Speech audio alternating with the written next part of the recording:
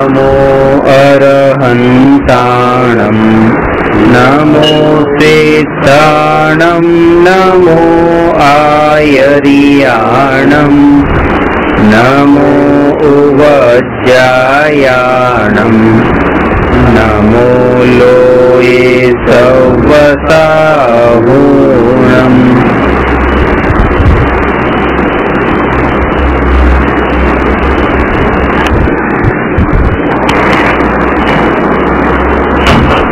બરોબર પ્રશ્ન નંબર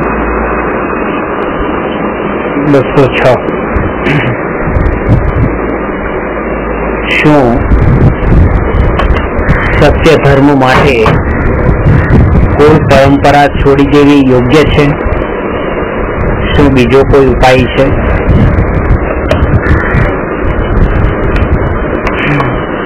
સત્ય ધર્મ માટે કુલ પરંપરા છોડી દેવી એ યોગ્ય છે એવો પ્રશ્ન છે. પહેલા તો સત્ય ધર્મ એ શું? એ ખબર પડે તો એ નિર્ણય લઈ શકાય કે કુલ પરંપરા છોડવી કે ન છોડવી. સત્ય ધર્મ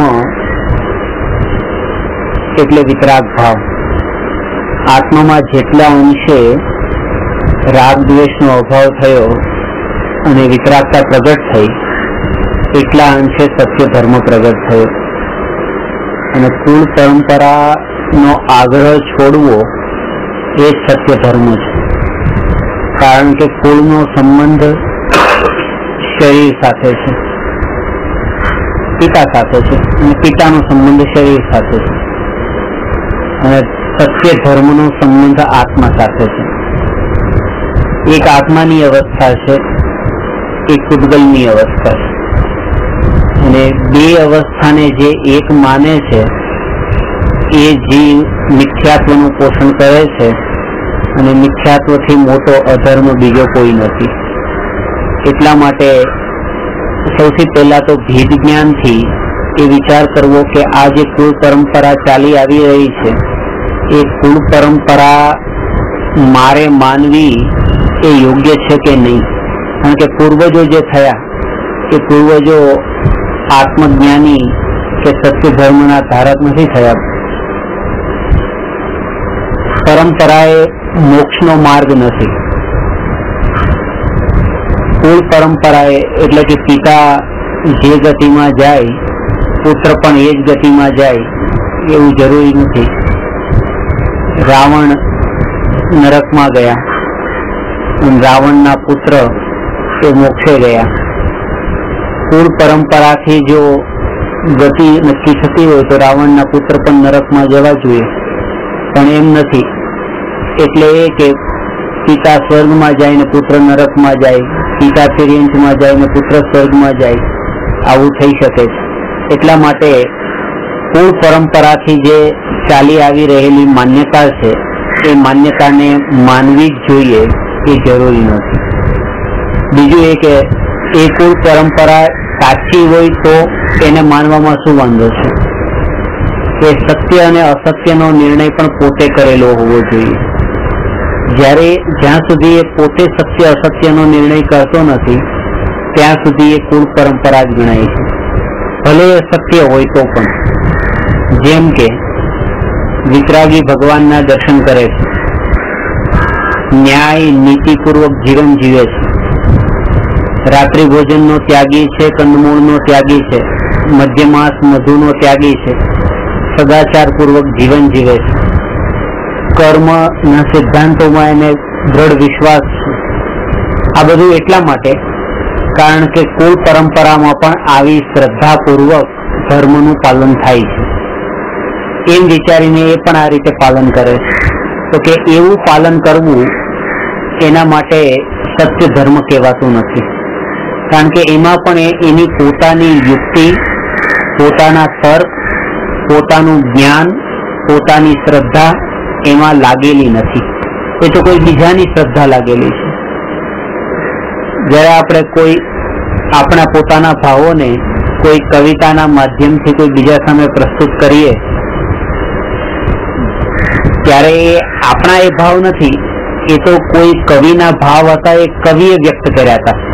અને એ ભાવને હું ક્યારે ડગલે ને પગલે એ કવિતા બોલીને વ્યક્ત કરવા લાગુ, તો એ મારા ભાવ નથી. તો એવી રીતે કોઈ જ્ઞાનીઓએ માનો કે એ તત્વનું જે જીવનમાં અપનાવ્યું, અને એ અપનાવ્યા પછી આપણે પણ હવે એ સિદ્ધાંતોને ખાલી બોલીએ. કે કુંકુંદાચાર્ય એમ કીધું કે કર્મના ઉદય અનુસાર જીવને સંયોગ મળે છે. હવે એ તો અનુભવ થયો અને અનુભવથી કહ્યું. હવે અહીંયા અજ્ઞાની જે બોલે છે અનુભવથી નથી બોલતો. એ તો ખાલી એક બસ જ્ઞાનીઓએ કીધું છે અને પોતે પણ જ્ઞાની તરીકે બીજાને બતાવવા માંગે છે. એટલા માટે એ રીતે કહે છે કે આત્મા અનંત ગુણોનો સ્વામી છે, સુખનો ભંડાર છે. તો આવું પોતે પણ બોલે છે અને કહે છે કુમકુંદાચાર્યએ પણ આવું જ કીધું છે. અને કુમકુંદાચાર્યએ આત્મજ્ઞાન પૂર્વક કહ્યું અને આ શાસ્ત્ર જ્ઞાનથી કહે છે. આત્મજ્ઞાનથી જે કહેવાયેલું છે, સત્ય છે શાસ્ત્ર જ્ઞાનથી કહેવાયેલું, એ કાગળના ફૂલ જેવું છે. એટલા માટે અહીંયા એ પ્રશ્ન છે કે સત્ય ધર્મ માટે કુળ પરંપરા છોડવી કે નહીં? માતા પિતાના જે સંસ્કારો છે, એ સંસ્કાર છોકરામાં જો આવતા હોય, તો તો સત્ય ધર્મની પરંપરા ટકાવીને રાખવી. કારણ કે છોકરાએ કઈ પછી અલગ વિચાર કરવાની જરૂરત નથી. જે માતા પિતા વિચાર કરે છે, છોકરામાં પણ એ જ વિચાર આવવાના છે. છોકરાએ સ્વતંત્ર રીતે વિચાર કરવાની ને પુરુષાર્થ કરવાની કોઈ જરૂર નથી. માતા પિતાએ જે વિચાર કર્યો અને પુરુષાર્થ કર્યો, છોકરો પર એ રીતે કરે રાખે. તો એ રીતે પુરુષાર્થ નામનું જે એક તત્વ છે, એ રહેતું નથી. એક સમુદાય છે પુરુષાર્થ નામનું, એ રહેતું નથી કે દરેક જે જીવ અશુદ્ધિમાંથી શુદ્ધિ રૂપે પરિણમે છે. એ જીવ પોતાના પુરુષાર્થ વડે પરિણમે છે. જો આ વાતને ન માનીએ કે પુરુષાર્થ વડે પરિણમે છે, તો એમ માનવું પડે કે માતા પિતા જે કર્યું એ બધું તમારે કરવાનું. તમારા પુરુષાર્થની કઈ જરૂર નથી. કાનજી સ્વામી એક વાત બહુ સરસ કહેતા કે માતા પિતાના જે વિચારો અને સંસ્કારો છોકરામાં આવે એવું જરૂરી નથી. માતા પિતા સારા સંસ્કારી હોય અને છોકરા કુસંસ્કારી પાકે અને કોઈ માતા પિતા કુસંસ્કારી હોય અને છોકરા સંસ્કારી પાકે, આવું પ્રત્યક્ષ જોવામાં આવતું હોય છે. અને એક દ્રષ્ટાંતો એ આપતા કે એક માતા માતા પિતા ને ત્યાં છોકરાનો જન્મ થયો છોકરો જુવાન થયો અને સંસારથી ઉદાસીનતા વાળી એનું, વાળું ચિત્ત હતું. ઉદાસીન વૃત્તિ હતી. અને સંસારમાં પડવાનો કોઈ ભાવ નતો લગ્ન નથી કરવા. તો આજીવન બ્રહ્મચર્ય વ્રત પાળવાની એની ભાવના હતી. દીક્ષા લઈ લીધી અને આજીવન બ્રહ્મચર્ય વ્રત પાળ્યું પણ ખરું તો કે માતા પિતા થકી આ પુત્રની ઉત્પત્તિ થઈ. તો માતા પિતામાં તો કામ વિકાર ભાવ હતો. કામ વિકાર ભાવ વિના પુત્ર કેવી રીતે ઉત્પન્ન થાય? તો કામ વિકાર ભાવ માતા પિતામાં હતો. એ કામ વિકાર ભાવ પુત્રમાં આવવો જોઈએ. જો કુળ પરંપરાથી ભાવો આવતા હોય છે. પણ માતા પિતાને તો વિકારી ભાવ આવ્યા અને આને અવિકારી એવો બ્રહ્મચર્યનો ભાવ આવ્યો તો આના ઉપરથી એ સિદ્ધ કરતા કે માતા પિતાના જે વિચારો અને જે શ્રદ્ધાન જે છે, પરિણતિ જે છે, એ છોકરામાં નથી આવતી.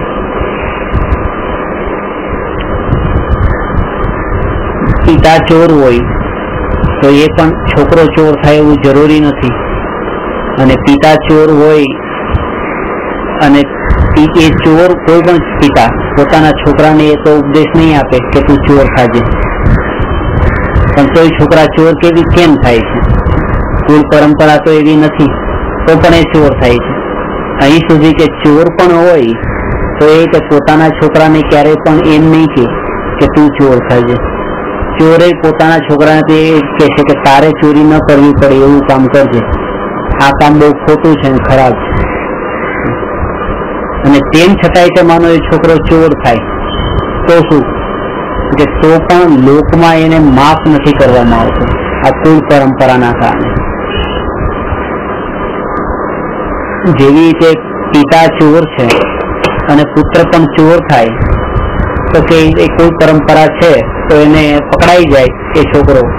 તો એને માફ નહીં કરવામાં આવે, એને સજા જ મળશે.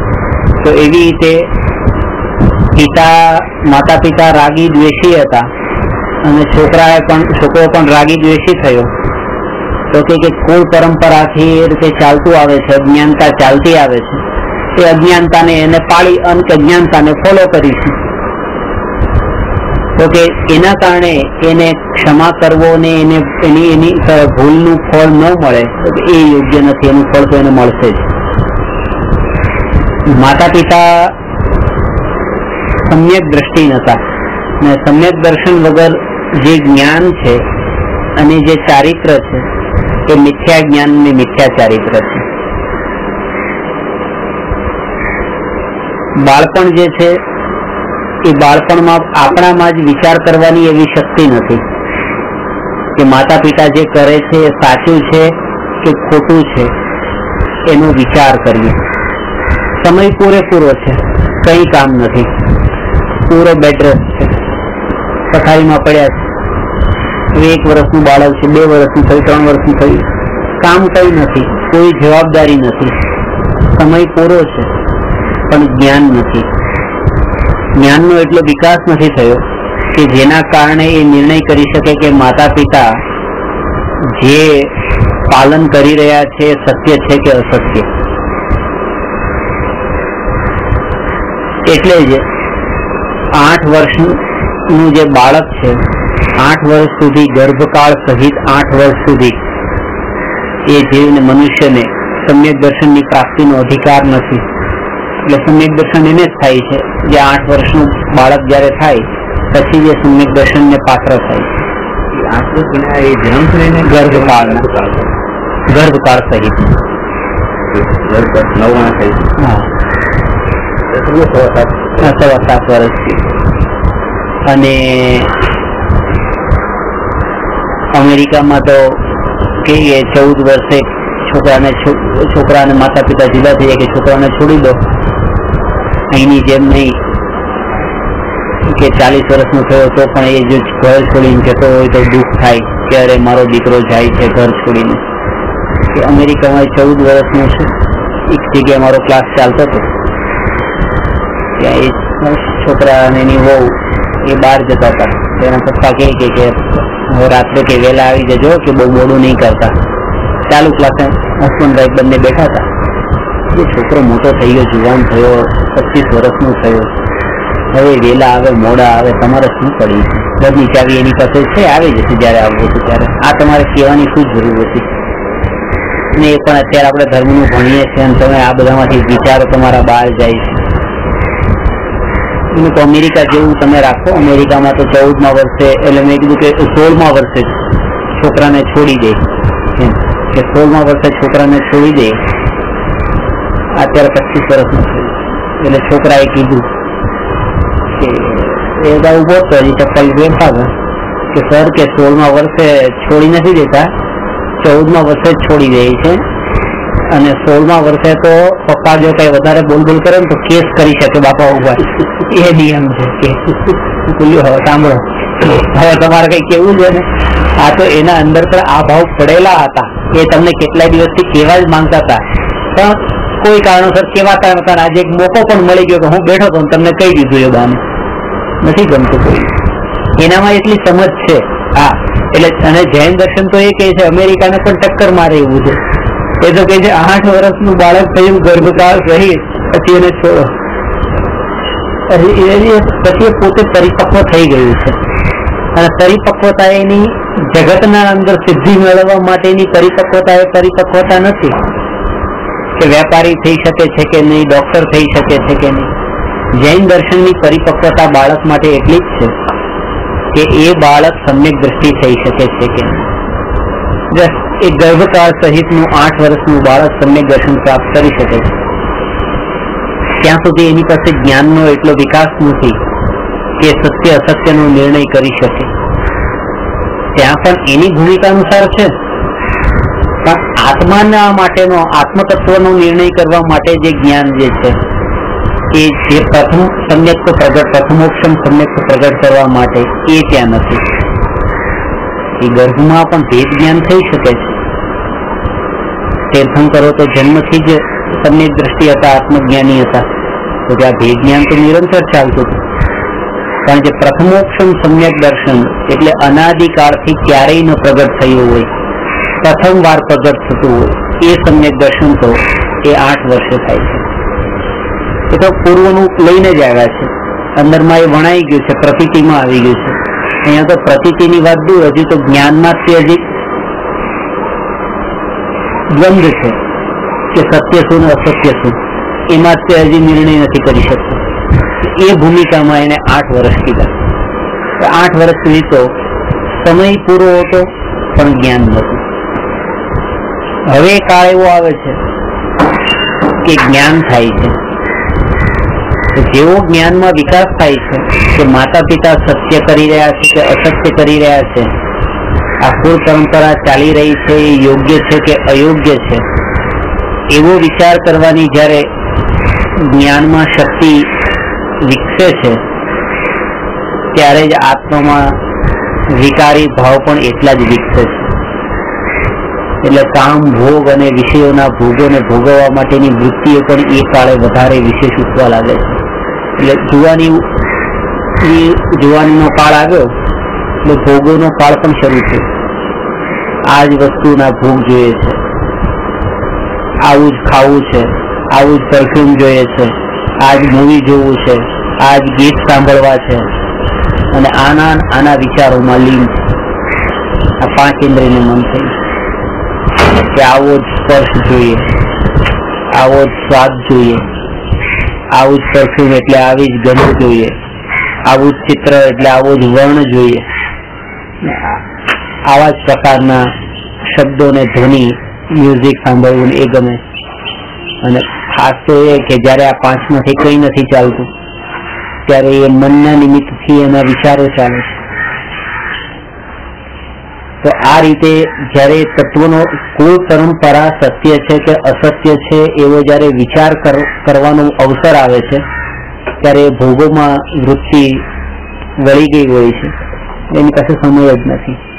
ત્યારે પણ પછી, પહેલા જયારે સમય હતો ત્યારે જ્ઞાન નહોતું, સમજણ નથી અને જયારે સમજણ આવી, ત્યારે સમય ન રહ્યો. આમાં નામાં લગ્ન થાય ને આખી જિંદગી નીકળી જાય.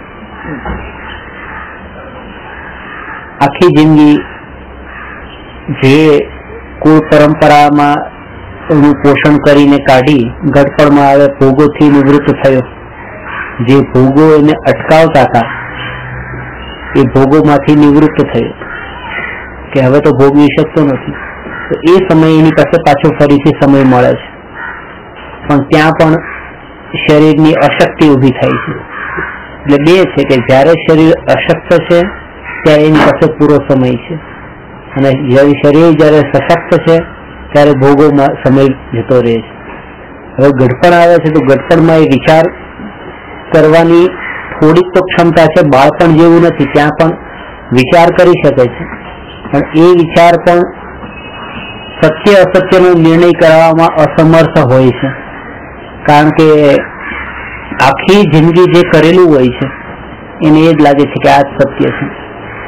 એને પછી ભૂલવું બહુ અઘરું પડે છે કે આ કેવી રીતે અસત્ય હોઈ શકે. કારણ કારણ કે જો એ આખી જિંદગી કરેલું જો અસત્ય માની લે તો એનો અર્થ એ કે મારી જિંદગી બરબાદ થઈ ગઈ. અને ત્યારે એને એ અંદરની પડેલી જે માન્યતા છે, એ સ્વીકાર કરવા માટે તૈયાર નથી થતી કે આવા વિચાર કરે કે આ અસત્ય છે, આ ખોટું છે, આ કુળ પરંપરા ખોટી છે. એટલે છેલ્લી ઘડીએ પણ એ મોકો હોય છે. પણ એનું જે અંતરપણ છે, એ ક્યારેય પણ એ વાતને સ્વીકાર નથી કરાવવા દેતું કે આ ખોટું છે. ખોટું હોવા છતાં પણ. આમ નામ એનો મનુષ્ય ભાવ નીકળી જાય છે. કુળ પરંપરા માત્ર મનુષ્ય ભાવમાં જ બાકીની ગતિઓમાં તો કુલ પરંપરા છે જ નહીં. એટલે અહીંયા જે સંસ્કાર દ્રઢ કર્યા, એ પરંપરાએ આગળ ચાલતી અહીંયા હવે આપણને એ કહે છે કે આ રીતે જે સત્ય, ધર્મ અને કુલ પરંપરા, આમ જેમ કુલ પરંપરા સત્ય છે કે અસત્ય છે એનો નિર્ણય કેવી રીતે કરવો? તો નિર્ણય એ રીતે કરવો કે પોતાની યુક્તિ વડે કરવો પોતાની યુક્તિ વડે. જ્યાં યુક્તિ ઘટિત થઈ શકે, ત્યાં તો યુક્તિનો પ્રયોગ કરવો. જ્યાં આગમ પ્રમાણથી નિર્ણય કરી શકાય, ત્યાં આગમ પ્રમાણ લેવું. જ્યાં દ્રષ્ટાંતોના માધ્યમથી સમજી શકાય, ત્યાં દ્રષ્ટાંત લેવા. જ્યાં તર્કના માધ્યમથી સમજાય, ત્યાં તર્કનો ઉપયોગ કરવો. અને જે વિષય આ બધાના માધ્યમથી તમને ન સમજાતો હોય, અને તેમ છતાં પણ તમારા વિચારોમાં આવતો હોય તો એને પેન્ડિંગ રાખવો. આગળ જતા સમય આવતા એ પણ સમજાઈ જશે. ડિલીટ નહીં કરી દેવો, કે આવું હોતું જ નથી.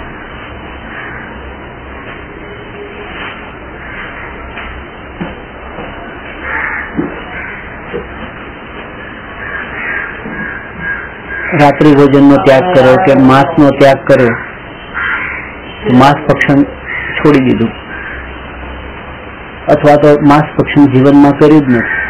કે ન કરવાનું કારણ કુળ પરંપરા જો હોય તો એ માંસ ભક્ષણનો ત્યાગ નથી. અને એટલા માટે જૈન દર્શનમાં કીધું છે કે ભલે તમારી ઉંમર અત્યારે પચાસ વર્ષની થઈ, પચાસ વર્ષમાં તમે માંસ ચાખ્યું જ નથી, એક પણ વાર ચાખ્યું નથી. અહીં સુધી કે પચાસ વર્ષમાં તમે માસ તરફ દ્રષ્ટિ પણ કરી નથી. પચાસ વર્ષમાં માસ તરફ દ્રષ્ટિ પણ કરી નથી. તો પણ માંસ ભક્ષણનો ત્યાગી નથી કીધો. વ્યવહારથી પણ ત્યાગી નથી કીધો. એને તો કુળ પરંપરાના ખાતામાં મોકલ્યું છે કે આ તો કુળ પરંપરા છે. માંસ ભક્ષણનો ત્યાગી તો એ ત્યારે થયો થયો કહેવાય કે જે સમયે વિતરાગી દેવશાસ્ત્ર ગુરુ સામે જઈને પ્રતિજ્ઞા કરે અને એ પણ કુલ પરંપરામાં નથી ખવાતું એટલે હું નહીં ખાવ એમ નહીં. પણ અંતરમાં એવો એ ત્રસ જીવો પ્રત્યેનો કરુણા ભાવ એના દુઃખને પોતાનું દુઃખ જાણીને એના પ્રત્યે કરુણા ભાવ અને આવી કરુણા બુદ્ધિપૂર્વક જો એ માંસ ભક્ષણ નો ત્યાગ કરે છે અને પ્રતિજ્ઞા લે છે, તો યોગ્ય છે. તો એ કોઈ પરંપરા નથી, કારણ કે એમાં પોતાનું સ્વતંત્ર ચિંતન એમાં એને જોડ્યું છે. અત્યારે મોટા ભાગે આવી ઘટનાઓ ઘટતી હોય છે, કે આ કેમ કરવું કે, અને આ- આ પરંપરા અહીંયા સુધી ફેલાઈ ગઈ, કે મમ્મી પપ્પા સવારે આ ધોતી દુપટ્ટો પહેરીને, મમ્મી પપ્પા સવારે ધોતી દુપટ્ટો પહેરીને આવી રીતે ભગવાનના દર્શન કરવા દેરાસરમાં જાય છે, તો મારે પણ નાના છોકરા, નાના છોકરાઓ પણ એવી રીતે નાના ધોતી દુપટ્ટા પહેરીને જાય. એ ખેસ નાખીને એવી રીતે ધોતી પહેરીને, બસ બસ. પપ્પા જેવું કરે એવું અમે કરીએ. છોકરીઓમાં હશે તો એમાં એ હશે કે મમ્મી જેવી રીતે સામાયિક કરવા બેસે, ચાલો હું પણ એવી રીતે સામાયિક કરવા બેસું. આ પરંપરા ત્યાં ચાલતી હોય છે? અને આ પરંપરા વાળી પ્રથા એટલી એટલી ખોટી રીતે વિકસી કે સાધુ ધર્મમાં પણ આવી પરંપરાઓ ચાલુ લાગી. એ સાધુને આજે જ્ઞાન નથી કે આનું આ આ- કેમ કરવું? પણ અમારા ગુરુ કરે છે એટલે અમારે કરવાનું. જયારે દીક્ષા લઈએ છીએ ત્યારે ગુરુ અમને આ કરવાનું કહે છે અને ગુરુ પોતે પણ કરે છે એટલે અમારે આ રીતે કરવાનું.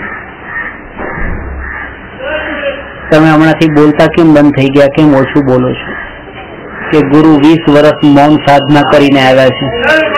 તો અમે પણ કોશિશ કરીએ છીએ કે લાવ થોડા દિવસ ન બોલીએ. જોઈએ કે આ સાધના કેવી રહી છે. એ તો ગુરુ કરે છે એટલે મારે કરવું છે. એમાં એને પોતાનું પોતે કઈ વિચાર નથી કર્યો કે આ મૌન કેમ રહેવાનું, શા માટે અને મૌન રહીને ઉપયોગ ક્યાં જવો જોઈએ? વચનનું મૌન ને મનનું મૌન, એ બે વચ્ચે અંતર શું છે? મારે વચનથી ને મનથી મૌન થવાનું છે. અને એ પણ આવી રીતે બુદ્ધિપૂર્વક થવાતું નથી. એ અંતરનો રસ એવો જાગે કે વચન નીકળે જ નહીં, મનમાં વિકલ્પ ઉઠે જ નહીં. એ સહજ દશા છે. આવી સમજણ પૂર્વક એ જો સહજ મૌન થાય તો યોગ્ય છે. કે ગુરુ આવું કરે છે એટલે પરંપરાએ મારે આવું કરવું, એ યોગ્ય નથી.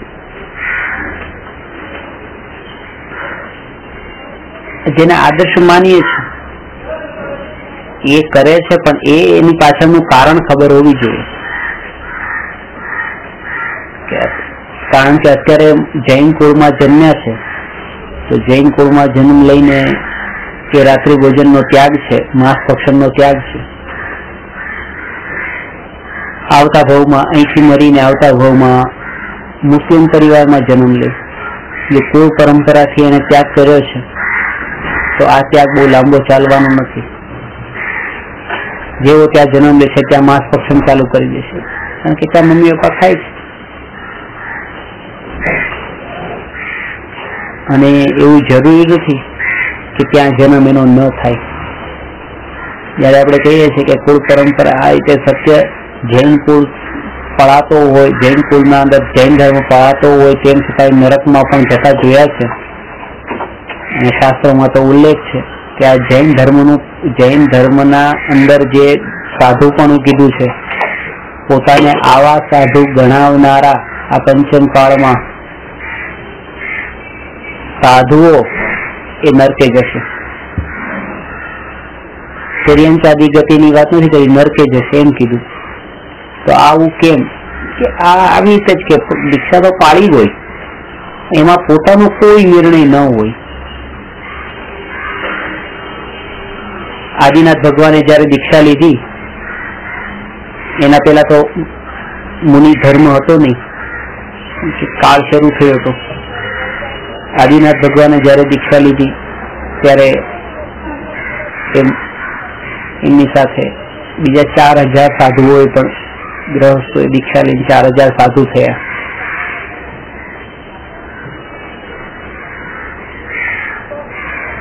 આદિનાથ ભગવાન મુનિ ધર્મ પાળીને એ મોક્ષે ગયા અને આ ચાર હજાર સાધુ નરકે ગયા. દીક્ષા તો લઈ રહી હતી. કેવી લેવી છે એટલે અમે લઈ લઈએ. પણ કેમ લેવી, એનું પાલન કેવી રીતે કરવું, ત્યાં દોષ લાગે તો એ દોષના અંદર એનું ફળ શું છે, તમે યથાર્થ રીતે ન પાળી શકો. કઈ કઈ કઈ આહારની કઈ વિધિ જાણતા નથી? જેમ કે આદિનાથ ભગવાને તો એ બધું જ પોતે સહજ રૂપે લીધું ને અંતરમાં વૈરાગ્ય વાળી પરિણતિ હતી કે લોકો એ હીરા ને ઝવેરાત પણ વરાવતા તો પણ નથી જોઈતું. કારણ કે લોકોને ખબર જ નથી કે આહારની વિધિ શું છે.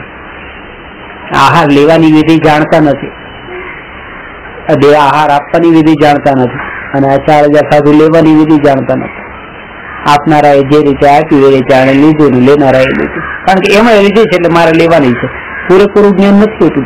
જ્યારે કોઈ એક વ્યક્તિ કોઈ બીજા વ્યક્તિનું અનુસરણ કરે છે, ત્યારે જરૂરી નથી કે એ જેનું અનુસરણ કરે છે, એના બધા જ નીતિ નિયમોથી એ પરિચિત છે. એની બધા પ્રકારની પ્રતિજ્ઞાઓથી એ જાણકાર છે. એવું જરૂરી નથી. અને એના જ કારણે એ એક નામથી તો એ રીતે એનું પાલન કરતા થઈ જાય છે. સમાજમાં પ્રચલિત પણ એ રીતે થઈ જાય છે કે આ રીતે એના અનુસારીની છે. પણ અંતરમાંથી એ રીતે ભેદ જ્ઞાન ન થયું હોય અને સત્યનો નિર્ણય ન થયો હોય તો એના કારણે થઈને પોતાને પોતાને જે રીતે મન ફાવે એ રીતે પાલન કરતા હોય. જયારે કપડા વગર એવી રીતે રાજા મુનિરાજ ઋષભદેવ એ રીતે નીકળતા ને ત્યારે લોકો અહીંયા સુધી કેતા કે અરે જો, આ વિચાર પાસે કપડાય નથી. એનો સંસાર ઉજળી ગયો છે. કોઈ પોતાની છોકરીઓને પણ ભણાવવા માટે તૈયાર હતા કે લાવ એનો સંસાર એની ગ્રહસ્થથી વસી જાય. એના ઉપર એવી કરુણા કરી લોકોને એ ખબર નથી કે આ અમને આ જરૂર નથી. આ ચાર હજાર સાધુઓનું નરકનું કારણ આવું જ બન્યું. કારણ કે કઈ ને કઈ ખબર નથી. લેવી લેવી છે. દુખી દુઃખી કોઈને કરવા નથી. એ પણ જૈન ધર્મના અંદર જે જાણ્યું છે કે દુખી કોઈને કરવાના નથી. એક પ્રાણી માત્રને પણ કષ્ટ ન પહોંચે એનું ધ્યાન રાખવું. અને આવું તો ઘણા લોકો કહેતા હોય છે. તમે કોઈને ત્યાં મહેમાન બનીને ગયા? સામાવાળા સાધારણ વ્યક્તિ છે. એની પાસે હવે એટલી બધી વસ્તુ બનાવવા માટેનું સગવડતા નથી, તો એમણે કઢી અને રોટલી બનાવી. તમે કઢી અને રોટલી ખાઓ. અને કઢીના અંદર એમણે ચણાનો લોટ ને દહીં બે ભેગું કર્યું. હવે દ્વિદળનો દોષ લાગે. આને હવે કરુણા આવી. કે અરે આ બિચારા આટલી બે કલાકથી મહેનત કરતા હતા. અને હવે હું અહીંયા ન ખાવ તો કેવું? અને જૈન ધર્મમાં તો પહેલા એ કીધું છે, કોઈના આત્માને દુઃખી નહીં કરવો, દુઃખ નહીં પહોંચાડવું. બોલાવ ખાઈ લઉં આજનો દિવસ ખાઈ લઉં એ મોટો ધર્મ છે. કોઈના આત્માને દુઃખ પહોંચાડવું, એના કરતા મોટો ધર્મ એ છે કે લાવ એક કઢી ખાઈ લઉં તો આમ જેમ મનથી સમાધાન કરી નાખ્યું પણ એને પોતાની પ્રતિજ્ઞા ભંગ થવાનો કોઈ વિચાર નહીં આવ્યો. એને એક જીવ પ્રત્યેનો કરુણાભાવ આવ્યો. પણ આમાં અસંખ્ય જીવો મરે છે એવો કરુણાભાવ નહીં આવ્યો. એને પોતાની બુદ્ધિ જેટલી ચાલી એટલો જ વિચાર કર્યો. એને પ્રત્યક્ષ જ્ઞાનનો જ વિચાર કર્યો. પ્રત્યક્ષમાં જેટલું એને જણાવ્યું કે આ યોગ આને દુઃખ પડે છે. પણ આમાં પણ આ જે છે, સર્વજ્ઞ ભગવાનના વચનો તો એ છે. નહીં તો ભગવાન તો એ પણ કહી શકતા હતા કોઈ તમારા મોઢામાં બટાટા મૂકે તો ખાઈ લેવા, કારણ કે એને દુઃખ ન પહોંચે સામાવાળા વ્યક્તિને. એ અનંત જીવોના પ્રત્યેનો જેને કરુણા ભાવ છે, એ આવી રીતે ગણકારતા નથી. એટલે કે એને આ આવું જે વિચાર કરીને પોતે મનથી સમાધાન કરી લે છે,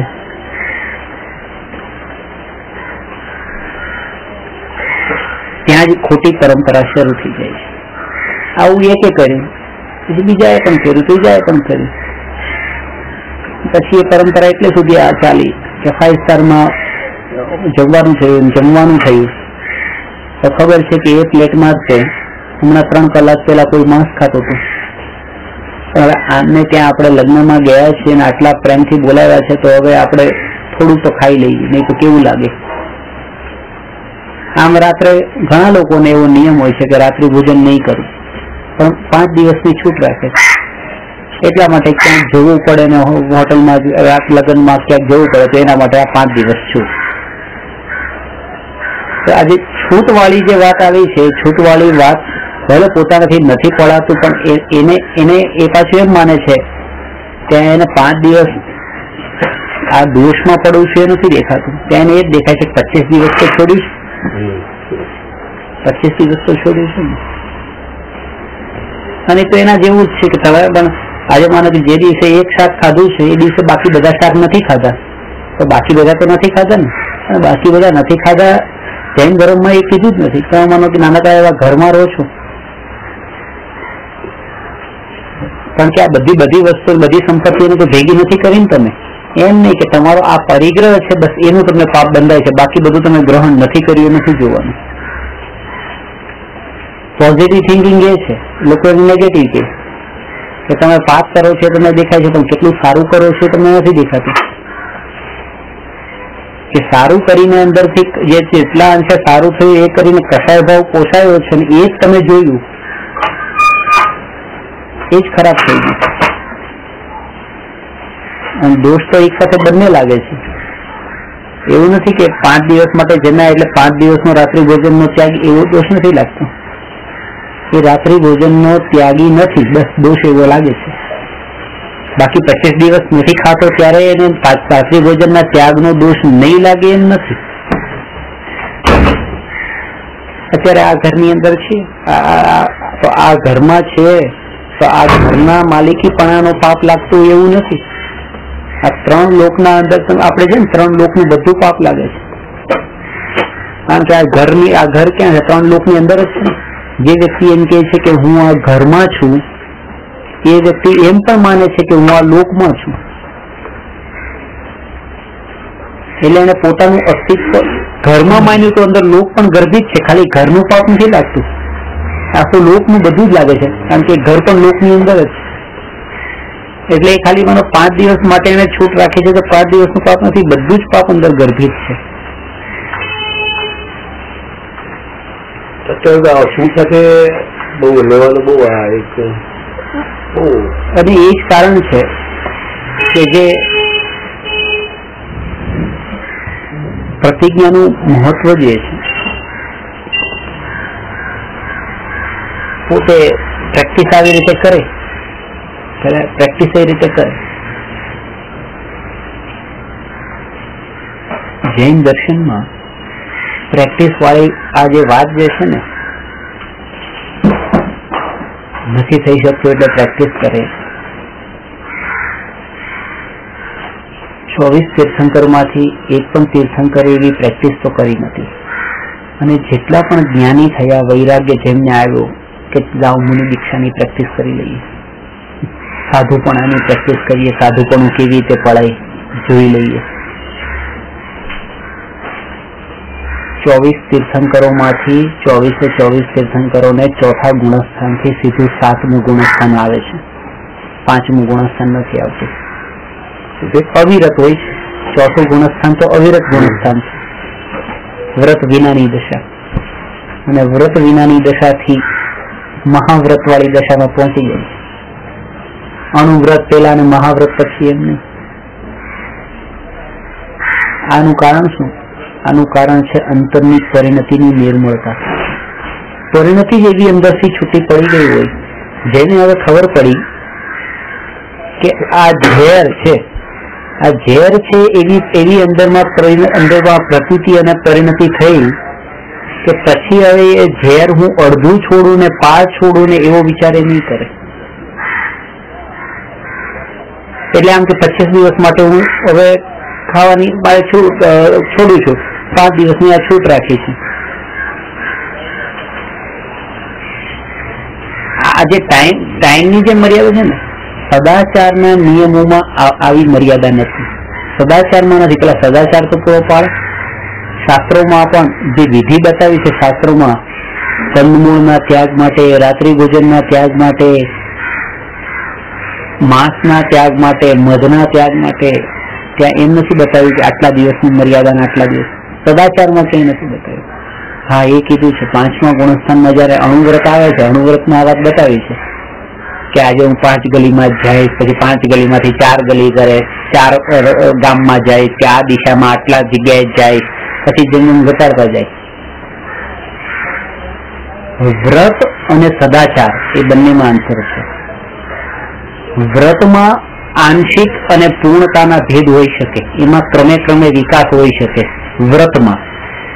પણ સદાચારમાં ન હોય. સદાચાર તો પૂર્ણ રૂપે જ હોય.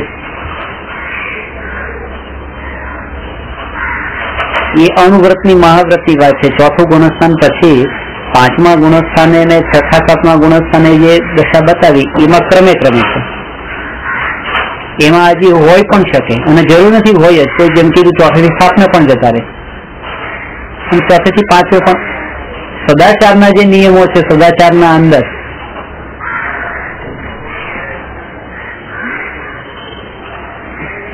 સદાચાર ત્યારે જ કહેવાશે? જ્યારે એનો આજીવન ત્યાગ હશે એને.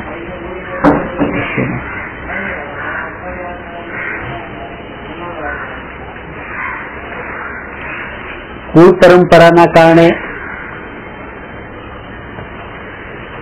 પોતે જેમ કીધું ને, પોતે વિચાર કરવાની પોતાની પાસે પોતાની પાસે એનો સમય જ નથી. કે કરે છે, સાચું છે કે ખોટું છે. આ એના જેવું થયું.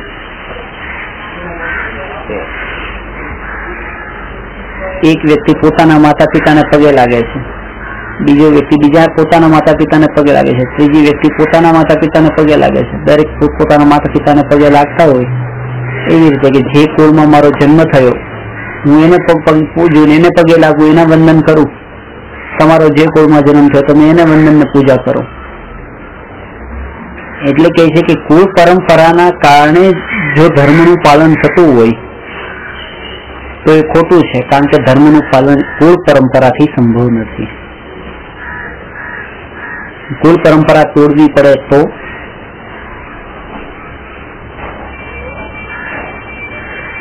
કે ના. આપણા મા બાપ કે જેમના થકી આપણને આ બધું મળ્યું છે, એમની કુલ પરંપરા કેવી રીતે છોડી? એમના દ્વારા જે આપણને મળેલી કુલ પરંપરા છે એને કેવી રીતે છોડી દેવી? તો એના માટે કે કુળ પરંપરા આપણે કુળ પરંપરાનો આગ્રહ નથી. આપણ, આપણે હંમેશા કુળ પરંપરાના કારણે કરતા હોઈએ એવું નથી. આપણને પોતાને પણ એવું રૂચે છે પાછું. એટલે એવું કરીએ છીએ. કે માતા પિતા આવી જે ધોતી દુપટ્ટાથી અ, પિતા આવી જે ધોતીને ખેસથી પૂજા કરવા દેરાસરમાં જાય છે તો છોકરો પણ જાય છે. તો છોકરાને પણ એવું ગમી ગયું છે. એટલે ખાસ એ છે કે એને તમે કહો કે ગમાડવામાં આવ્યું છે પણ ત્યાં પણ એનો રસ તો એના અંદર છે જ.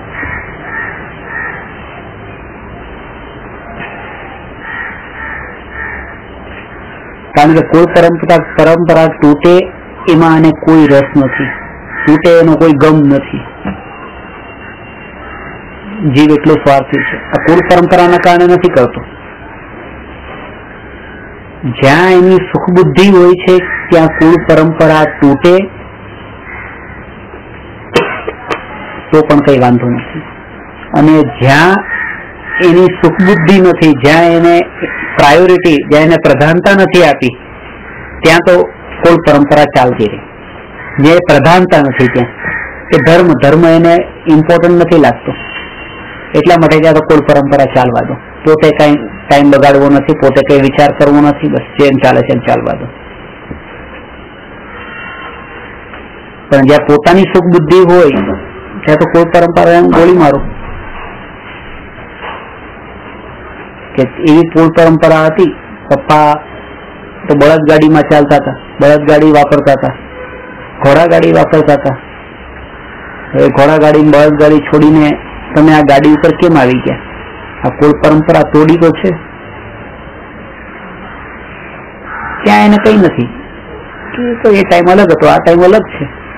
એમની પાસે એટલી બુદ્ધિ નથી, જ્ઞાન નતું કે જ્ઞાનનો ઉપયોગ કરે અને મોટર ગાડી બનાવે. અમે અમારી જ્ઞાન ને બુદ્ધિનો પ્રયોગ કર્યો અને મોટર ગાડી બનાવી તો અમે શું કામ ન વાપરીએ? જ્યાં સુખ બુદ્ધિ છે ત્યાં કોઈ પરંપરા તૂટે એનો વાંધો નથી. એ ધોતી ધોતી દુપટ્ટો અને ધોતીને કુર્તું કે માથે ટોપી કરીને એવી રીતે નીકળતા હતા. પેલા તો આપણે જોઈએ ડગલે ને પગલે એવી રીતે જેટલા પણ ફોટા પેલાના આપણે જોવામાં આવે તો માથા ઉપર કઈ ને કઈ ટોપી હોય કે પાઘડી હોય, કઈ ને કઈ હોય. કોઈક જ એવા હોય કે જેને માથા ઉપર ન હોય. અને અત્યારે એટલું એવું થઈ ગયું છે, કોઈક જ એવા હોય કે જેને માથા ઉપર ટોપી કે પાઘડી કઈ કોઈ બાકી બધા ખુલ્લે માથે જ જાય. તો ત્યાં કોઈ પરંપરા તોડી, એને નથી યાદ આવતી કે આપણે કુલ પરંપરા હતી, પરંપરાથી ચાલતું આવતું હતું, એને તોડ્યું, છોડ્યું છે.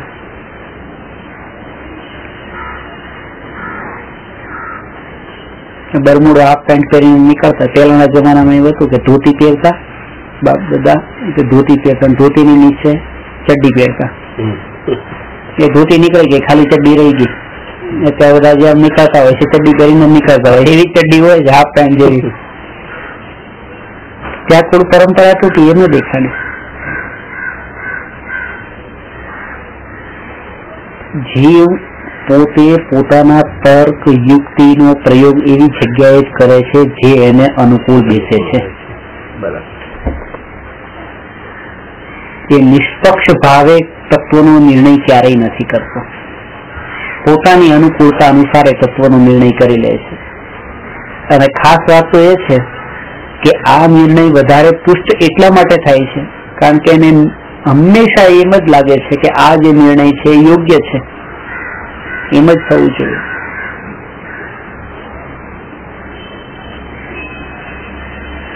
એ કોઈ ચીજની જ્યાં સુધી ચિંતન નથી કરતા ત્યાં સુધી એનું સત્ય નથી સમજાતું. કે પહેલાના જમાનામાં લાઈટ નથી, તો કે કે સાધુ માઇક વાપરતા નતા તો હવે તો સાધુ માઇક વાપરે ને હવે વાપરે તો શું વાંધો છે?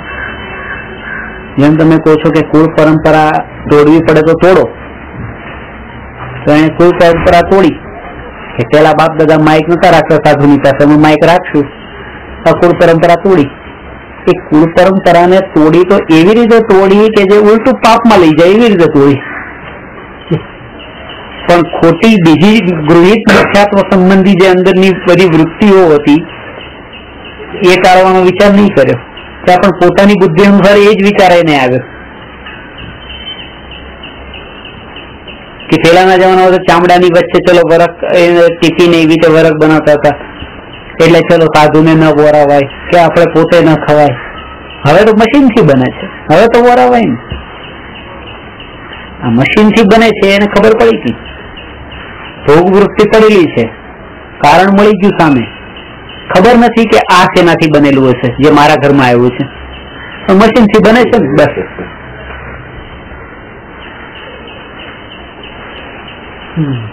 મારા સાહેબ ને પણ આ જ રીતે કીધું. સાહેબ જેવું તો મશીનથી બને છે એટલે બહુ ચિંતા નહીં કરવી તમારે. જે ખરેખર પાનારા હતા તો એમને પાતા છોડાઈ દીધા. કારણ નથી લગાડ્યું વ્યક્તિ જ્યાં સુધી ત્યાં પ્રયાસ પ્રત્યક્ષ દેખાતું છે મશીનમાં બને છે પણ મશીનમાં જે પાપ લાગે છે એ નથી દેખાય. એ દેખાયો તો નહીં થાત આ જ વાત છે હમણાં એ સમજી વાત છે કે અમે શીખરજી ગયા તો કે ત્યાં ભાવપુરીમાં છત્ર હાલે છે આ એ ચમત્કાર જોવા માટે લોકો રાત્રે ટોળા ને ટોળા લગાવીને ઊભા રહે પણ ત્યાં મચ્છરોની હિંસા થાય છે ત્યાં રસ્તામાં કીડાઓની હત્યા થાય છે એ જવા માટે જોવા માટે એ દ્રષ્ટિમાં નથી આવતું જો એ દ્રષ્ટિમાં આવે તો એ ચમત્કાર નીકળી જાય મોટો ચમત્કાર એ જ છે કે ભગવાનના દર્શન કરતા કર્મ બંધાયા આ મોટો ચમત્કાર થઈ ગયો છત્ર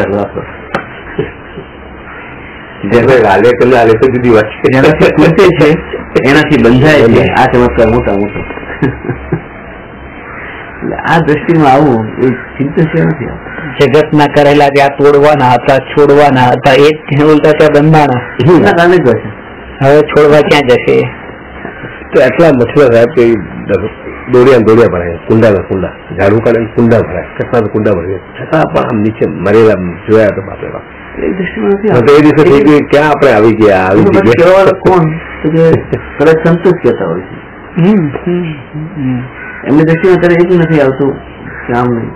અને વધારેમાં વધારે ફરી ફરીને યાત્રા કરી લેવાની. આટલા જીવો મરે છે એ તો ખ્યાલ જ નથી સાચી વાત. ઓછું કરવાનું. આ ચિંતા સિવાય નથી પોતે જ વિચાર કરે. પોતે વિચાર પોતે વિચાર કર્યા વગર થઈ કોઈ વિચાર નથી બરાબર આવો જોઈએ જો આમ મહત્વ એનું. આનું તો મહત્વ નહીં. એટલા જીવો મરી ગયા જ્યારે જીવ પોતે સ્વતંત્ર રીતે વિચાર કરે ને ત્યારે જ એ નિર્ણય લઈ શકે સત્ય અસત્ય શું શું કરવું જોઈએ. એ મોહના આવેશના અંદર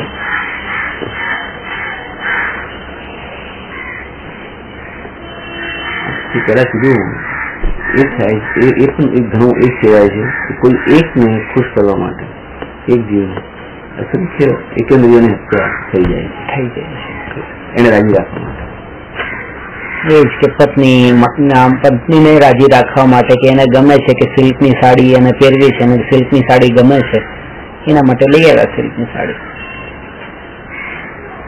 એક મીટર સિલ્કની સાડી બનવામાં છ હજાર રેશમના કીડા મરે.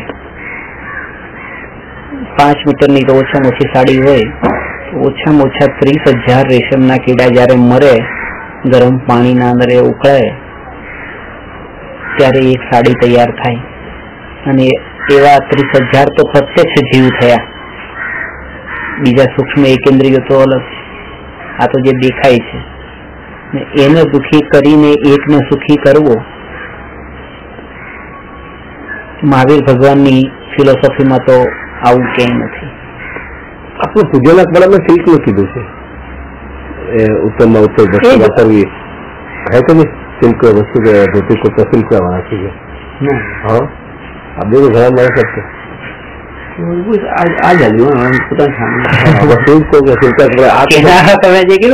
ભાવ છે ને કારણ ભાવ પૂછાય છે. ત્યાં બધું એ પછી એ રીતે બેસાડે છે કે આ છે ને ભાવ એનાથી ઉત્તમ આવે તમે આમ ઉત્તમ વસ્તુ કરી છે ઉત્તમ જે ઉત્તમ ભગવાન પાસે ઉત્તમ દાસ નેવું ટકા આ જ આવે છે એક સ્થાન તો એવું ઉત્તમ હોય એટલું હોય કે ચલો જેટલી બને એટલી. એટલે આપણે ઉમરાળામાં મહાવીર ભગવાનનું જે મંદિર સ્થાપવાની આપણી ભાવના છે ને ત્યાં તો મુકેશભાઈ તો એમ કહેતા કે તમે ખરેખર જો થઈ શકે તો લાઈટ પણ નહીં રાખો. જેને દર્શન એક એવું એક એવું જીન મંદિર હોય કે ખરેખર જે દર્શન કરે દિવસના દર્શન કરે ન કરે તો કાંઈ નહીં પણ આપણે હવે જેટલી બને એટલી એના અંદર હિંસા ન થાય એ એ કોશિશ પૂરી કરવાની. દેવ દર્શન માટે જીન પ્રતિમા તો હોવી જોઈએ યોગ્ય છે. પણ કે ત્યાં એક વાત ખાસ ધ્યાનમાં રાખવાની કે કોઈ પણ પ્રકારની ના તો ફૂલની પૂજા ના તો આની પૂજા એ નિમિત્તે કશું જ નહીં. ભગવાનનું સ્વરૂપ જે છે તમે ત્યાં બેસો પણ તમારા પરિણામ જેટલા નિર્મળ થાય એટલા કરો. બસ બસ બીજું કશું જ નહીં. ખરેખર. કોઈ આડંબર દે કોઈ બાયર અભિષેક પણ જે થાય અભિષેક ને પાણી કેટલું વપરાય કેટલું બધું થાય. પ્રતિમા સાફ કરવાની છે તમે ક્યારેક કેટલા દિવસ અમુક દિવસની લિમિટ રાખો એટલા દિવસે એક વખત કરી નાખે. બાકી કપડેથી તમે સાફ કરી નાખો. પણ આ પણ પરંપરા કે ના આ રીતે રોજ અહીંયા થાય તો રોજ આવું પાણીથી થવું જ જોઈએ. રોજ પંચ કોઈ જગ્યાએ તો પંચામૃતથી કે રોજ થવું જ જોઈએ. અને પણ જ્યાં થાય- પોતાની તાકાત છે ત્યાં જ છે પાછું. આ ગમતેશ્વર બાહુબલી જે છે તે બાર બાર વર્ષે એક વાર થાય ત્યાં આવે રોજ રોજ કોણ કરે? એટલે જ્યાં જે તમારે કરવું હોય તો બધે કરો. એટલે ત્યાં તેવું બેસાડે છે. અહીંયા એવું બેસાડે છે. બસ પરિણામોનું ભાન નથી. કે આ બધું કરવાની પાછળ મારા પરિણામ કેવા છે? મારા અંદર કોઈ એવો હઠાગ્રહ તો નથી બેઠો ને? શું હું એ મારા અંદર પડેલા હઠાગ્રહને વિતરાગી ભગવાન પ્રત્યેની દ્રઢ શ્રદ્ધા તો નથી માની બેઠો ને. એવો વિચાર નથી આવતો. વિદ્વાનો પણ એટલો અંદરમાં આગ્રહ જ હોય કે ના લાઈટ અત્યારે યુગ આવ્યો છે યુગ છે તો તમે કેમ લાઈટ ના વાપરો? તમે લાઈટ વાપરવાનું નથી કેતા યુગ આ એક જે યુગ છે તો પછી તમે પાપ કેમ ન કરો? એમ તમારો કહેવાનો મતલબ એ છે.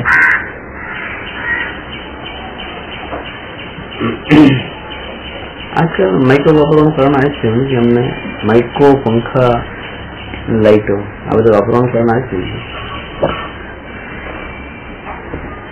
એસી આવી ગયા ઘણી જગ્યાએ તો સત્ય તો છુપાઈ ગયું છે ક્યાં નથી દેખાતું તો એને આપણે જે રીતે કહીએ છીએ ને કે પછી હા એને એને એને શરૂઆતની ભૂમિકાના અંદર આ રીતે આપો એને એસી જતું હોય તો એસી આપો પણ એ ધર્મ સ્થાનોમાં નહીં ધર્મ તો નો કે પ્રવચન હોલ ત્યાં બનાવ્યો છે જે આપણા એ જગ્યા ઉપર તમે એસી મૂકી દીધું હવે કમસે કમ એ સ્થાનને તો એટલું અહિંસક રહેવા દો એમ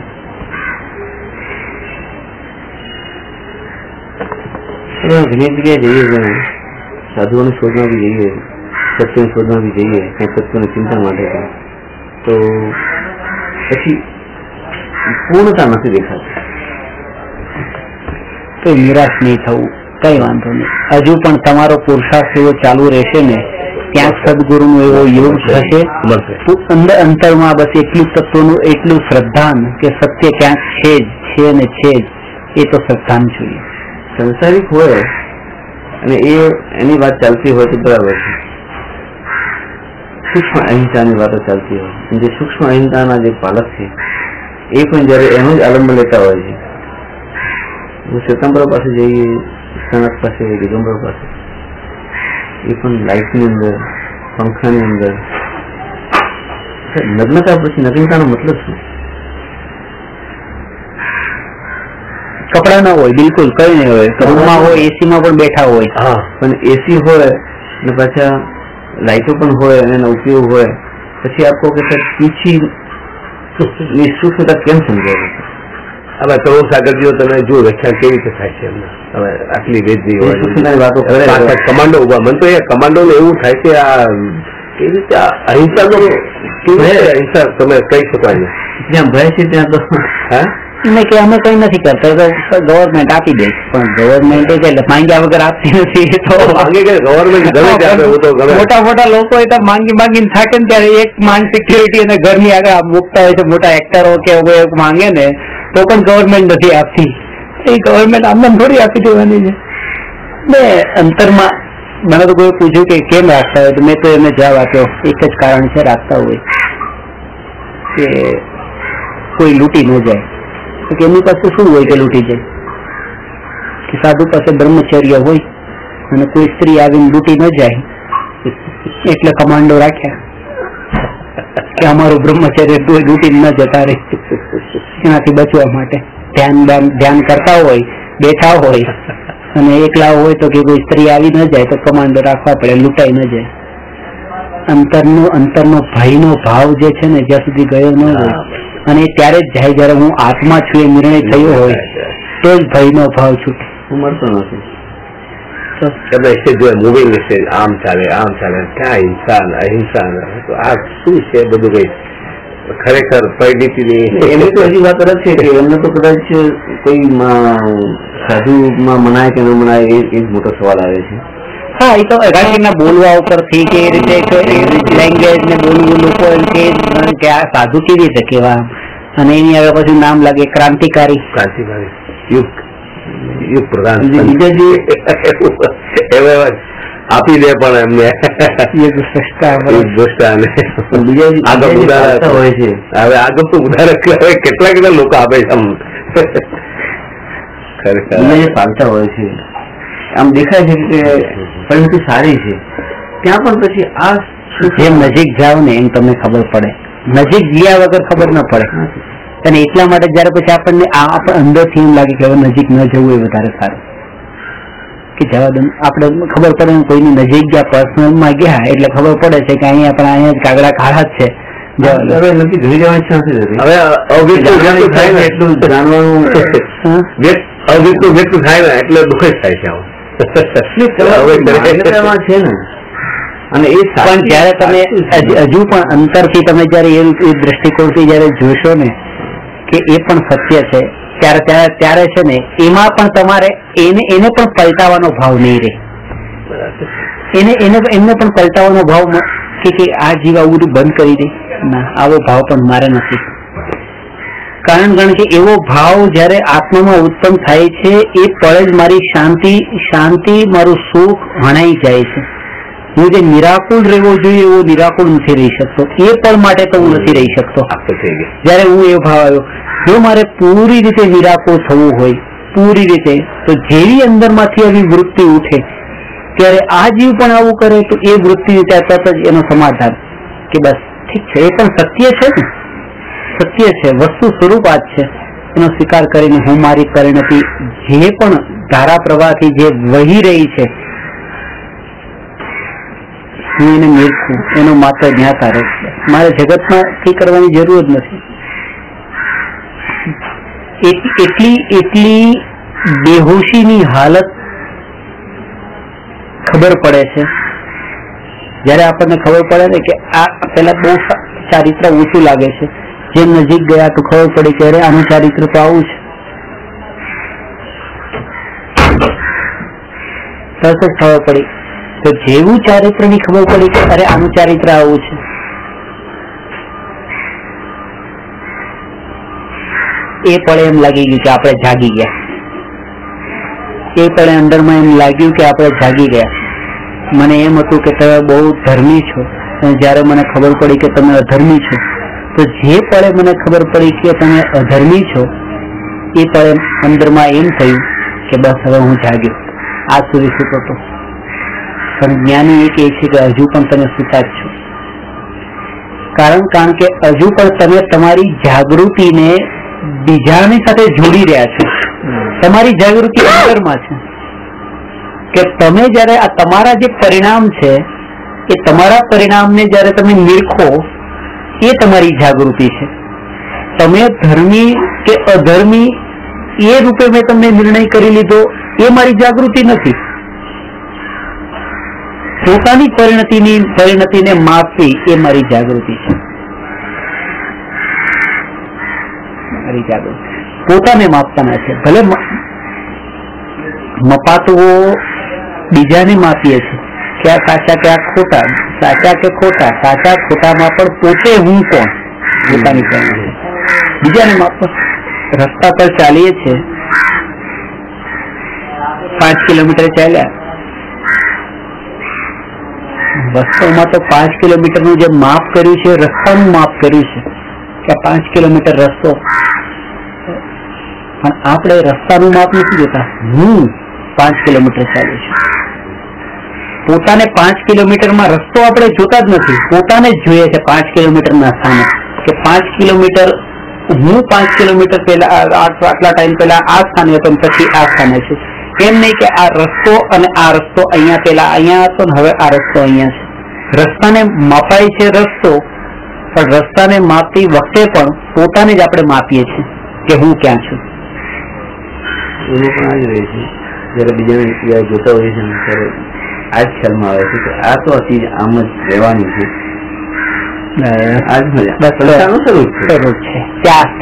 ત્યાં જ અંતરમાં શાંતિની કણિકા અંદરમાં છૂટે છે. અંદરમાંથી એક ખ્યાલમાં આવે છે કે હવે મારે કરવાનું કઈ રહ્યું નથી. અકર્તા ભાવ ત્યાં જ ખબર પડે છે. જ્યાં સુધી એ ભાવ રહેશે કે લાવ હું કંઈક કરું લાવ હું કંઈક ફેરફાર કરું ત્યાં સુધી અંદરમાંથી એ શાંતિ નહીં આવે. કારણ કે જ્યારે ખબર પડી કે હવે મારે કંઈ કરવાનું રહ્યું જ નથી. કરવાનું રહ્યું નથી તો અકર્તા થયો અને અકર્તા ભાવ જ્યાં થયો ત્યાં જ શાંતિ બધું શાંતિ શાંતિ જાય પછી. કારણ કે જે બોજો હતો ને એ બોજો માથા ઉપર જે હતો એ ઉતરી ગયો. હવે કઈ ન કરવાનું.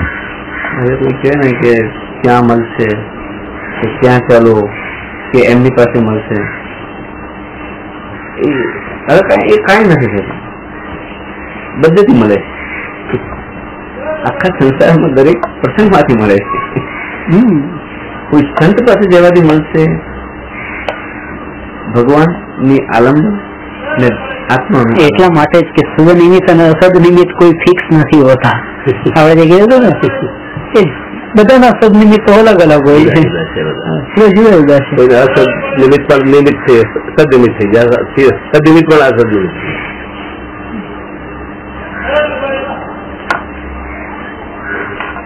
ચિંતન કરવાની અંદરની બધાની કળા અલગ અલગ છે અલગ અલગ એક વિદ્વાન છે દર વર્ષે અમેરિકા જાય છે એક ભાઈના ત્યાં રોકાય સાત દિવસ મિયામીમાં તો એ ભાઈ મને મળ્યા એટલે મને કે આ ભાઈ તો કે અમારે ત્યાં આવે છે દર વર્ષે. આઠ દિવસ રોકાય. આઠ દિવસમાં એમને કે બપોરે બસ રોજ એક રોજ કે એક પિક્ચરની કેસેટ મારા માટે તમારે મૂકવાની મારા રૂમમાં કે સાત દિવસની સાત કેસેટ નવ, એક સાત પિક્ચર રાખવાનું. ત્રણ કલાકથી પિક્ચર જોવે. એ પિક્ચર જોયા પછી તમે કે સાંજના કે એમનું પ્રવચન સાંભળો, તો આખું પિક્ચર એમણે અધ્યાત્મમાં એવું ઘટિત કરી દીધું હોય કે આપણને ખબર ન પડે કે આ વ્યક્તિએ પિક્ચરનો આનંદ લીધો છે કે આના અંદરથી આખું અધ્યાત્મ એક એક એક એક સીનમાં અધ્યાત્મ ઘટિત કરેલું હોય. આના એટલે એમ કહેવાનું કે ભલે કઈ છે કે જોવું છે દુનિયા એ દ્રષ્ટિએ જો પણ જેના દુનિયા માટે અસત નિમિત્ત છે. કે આ પિક્ચર જોવાનું સાત દિવસ એક કેસેટ જોઈએ પણ કેટલું પાપ? પણ એના અંદર પણ કેવી તો એના માટે સદ નિમિત્ત છે. જવા દો. એનું ચિંતન એમાં ચાલતું હોય ને, એમાં ભેદ જ્ઞાન ચાલતું હોય ને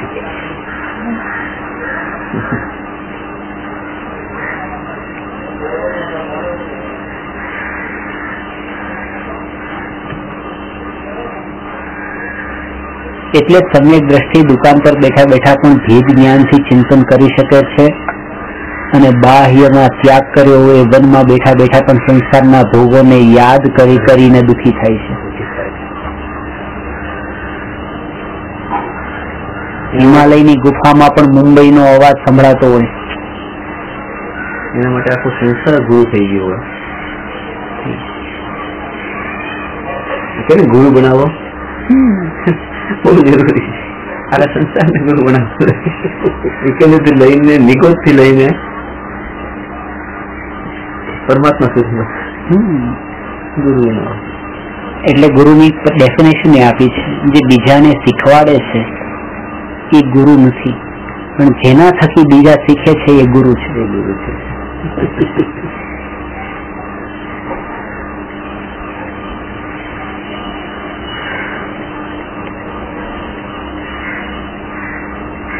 એટલે તો આખા જગતનું અનિત્ય સ્વરૂપ જે કીધું છે.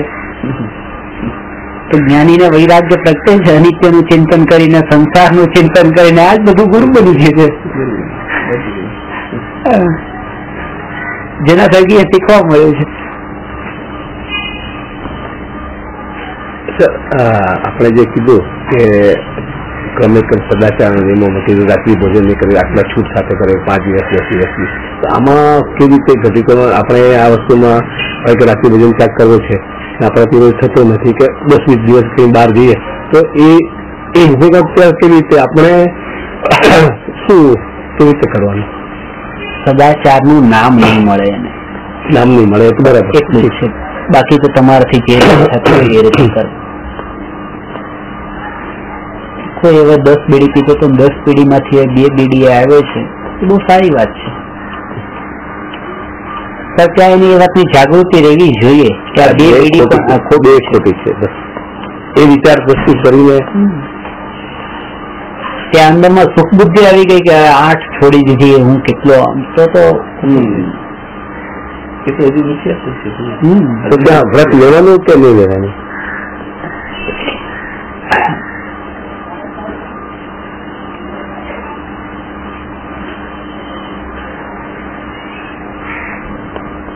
નાની નાની પ્રતિજ્ઞાઓ લો.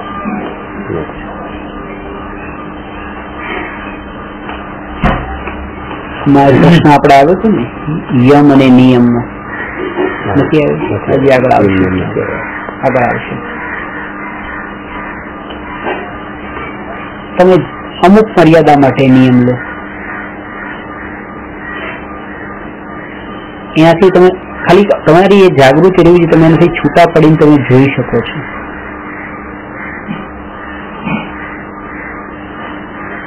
મારા શિષ્યોમાં, કરોડપતિઓમાં તમે જોવું ને, તો બેઠા હોય એર કન્ડિશનમાં મોટો પચીસ પચીસ કરોડના અને પચાસ પચાસ કરોડના ને એવા મોટા મોટા ફ્લેટના બંગલામાં બેઠા હોય ને, આમ આલિશાન તમે પ્રવચન ચાલતું હોય. સાઠ મિનિટમાં એક પણ મિનિટ માટે આંખ ખુલ્લી ન હોય, આંખ બંધ જ હોય. અને આંખ બંધ કરીને સાંભળતા હોય. બસ. કે હું ભગવાન આત્મા છું ને શુદ્ધ છું. શુદ્ધ, બુદ્ધ, ચૈતન્ય ઘનું અંદરથી પાછળ રિપીટ કરતા હોય જ્યારે હું બોલું ત્યારે. પૂરેપૂરું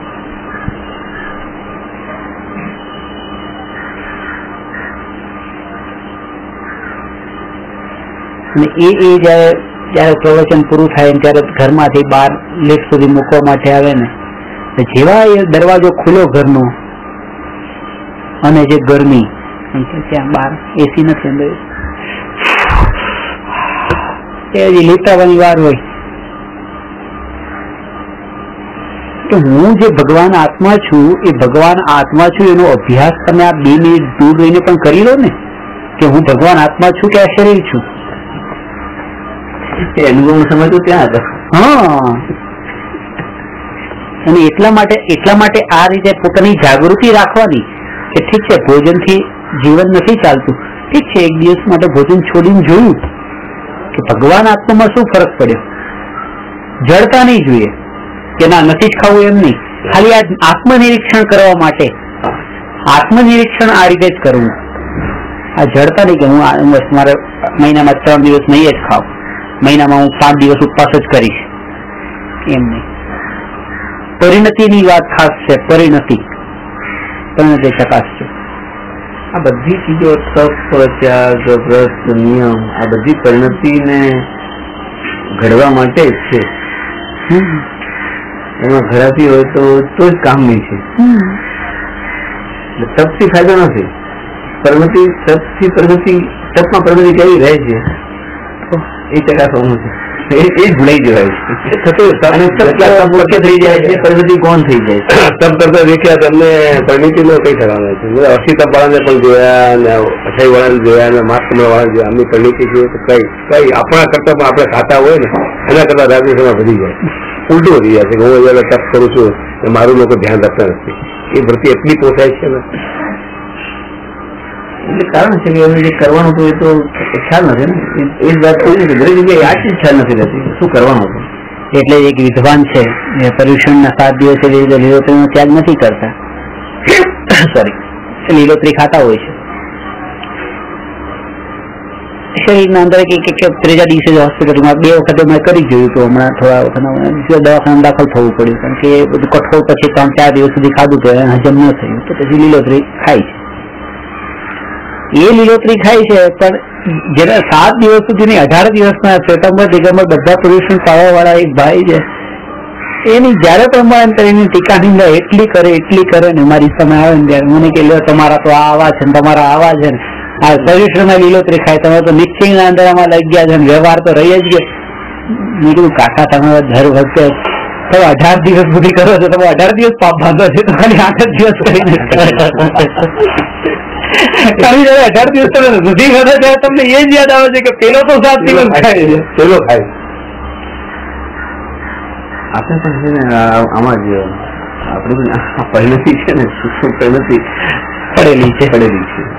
કે હું નથી કરતો. કોઈ દેખાય બીજું દેખાય ગયા આપણે વ્યક્તિ- આપણે ક્યારે જોઈએ છે? જયારે આપણામાં એક દોષ પડેલા છે. એ દોષની વૃત્તિ પડેલી છે તો જ દોષ દેખાય બાકી દોષ દેખાય પડે સાચી વાત છે. સામેવાળાના જો દોષ જોઈએ કે ટીકા ટિપ્પણી કરીએ આપણામાં એ દોષ પડેલા છે. આપણને છે ધ્યાનમાં છે. એ નહીં હોય એને તો ધ્યાન પણ ના હોય. આવું થાય આવું પણ ખોટું થાય છે. એટલે કશું લાગે જ પણ એની દ્રષ્ટિમાં એ વસ્તુ જ ના આવે. હા. આપણામાં વસ્તુઓ પડેલી છે એટલે જ વૃત્તિથી એ એટલે જ એટલે એટલે જ આ વાતને સૂક્ષ્મ વિચારવી કે જયારે તમે સદગુરુના યોગમાં સદગુરુની શોધ માટે નીકળ્યા છો અને તમને સદગુરુનો યોગ નથી થતો એનો અર્થ એ નથી કે ત્યાં નબળાઈ છે. નબળાઈ હજી મારામાં છે મારામાં છે. કે હજુ મને નબળાઈ દેખાય છે.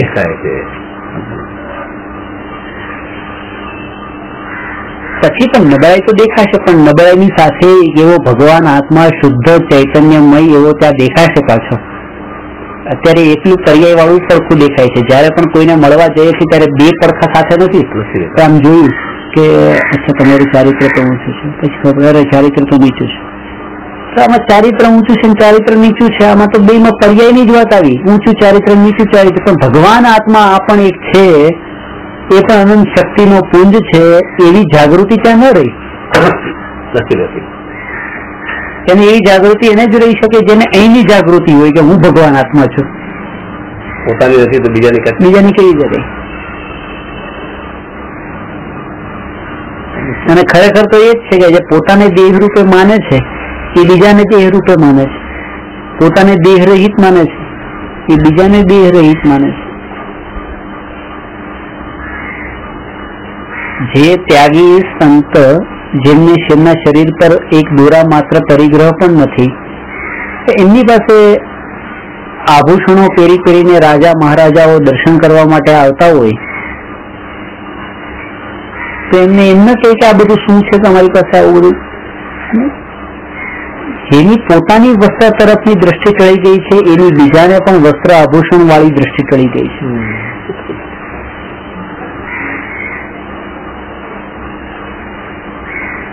એ જ કારણ છે કે પૂર્ણ વિતરાગી ભગવાનને સમોસરણમાં પણ સ્વર્ગના દેવોનો વૈભવ ને એ બધું હોવા છતાં પણ અંતરમાં ભાવોમાં કેમ નથી? એ પૂર્ણ વિતરાગતા પ્રગટ થઈ. કોઈ રાગ ને દ્વેષ કઈ રહ્યા નથી. એના બળ ઉપર જ તે. અસર થતી નથી.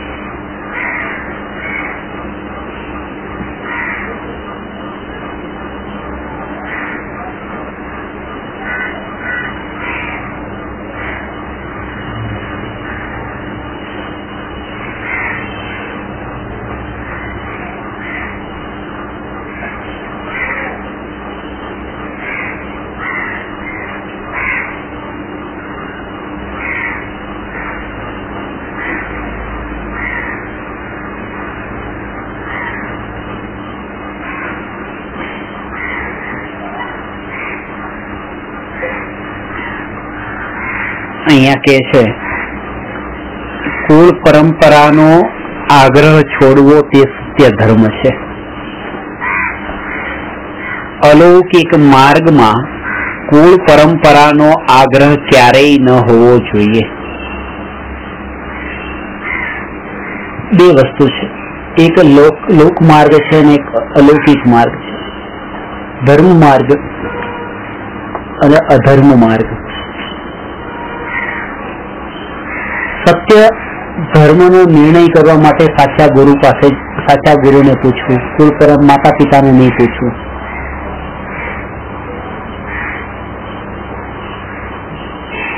કેવા કર્મના ફળમાં, કેવું ફળ મળે એ વાત માતા પિતાને નહીં પૂછવી. માતા પિતા પાસે દ્રષ્ટિ નથી. એ પોતાની દ્રષ્ટિ અનુરૂપ જ તે વાત કરશે. મમ્મી પપ્પાને પૂછ્યું કે, મમ્મી, આ કોઈની વસ્તુ પડેલી છે?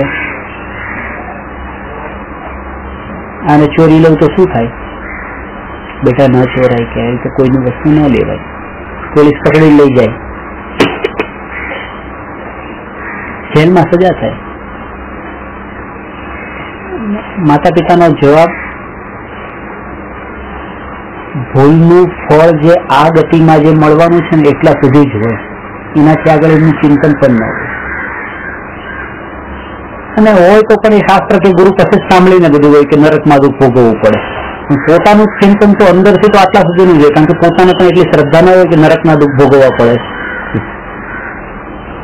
એ ખાલી ક્યાંકથી સાંભળેલું હતું, ઉધાર લીધું છે. એવી જ રીતે કે ગુરુની પાસે જશે ત્યારે ગુરુ એને એ દ્રષ્ટિકોણથી લેશે. આગળનો વિચાર કરીને.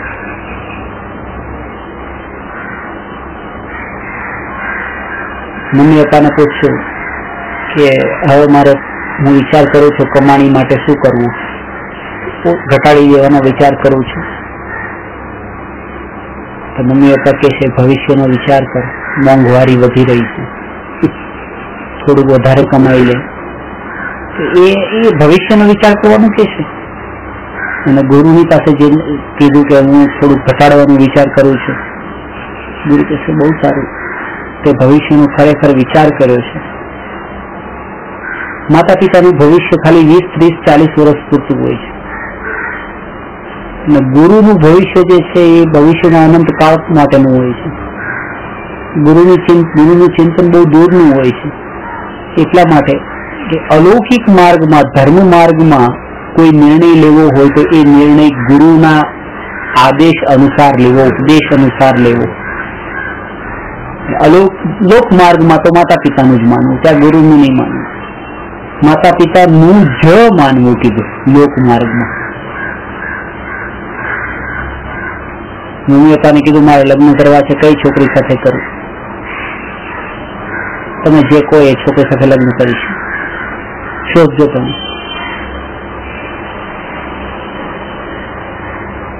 ત્યાં ગુરુને નહીં કહેવાય. છોકરી શોધવાનું કામ. એ માતા પિતાનું એ લોક માર્ગનું કામ છે. ગુરુની પાસે વાત ન કરાય કે મારા માટે છોકરી શોધવાની શું કરવું ગુરુની પાસે જઈને પોતાનો સમય અને ગુરુનો ગુરુનો સમય આ રીતે થોડો એ રીતે વેડફાય. ગુરુને કહેવાય ગુરુને કહે કે ગુરુ મારા માટે શું છોકરી શોધવાની શું કરવું? તો ગુરુ પાપ પોતે પાપમાં પડે છે.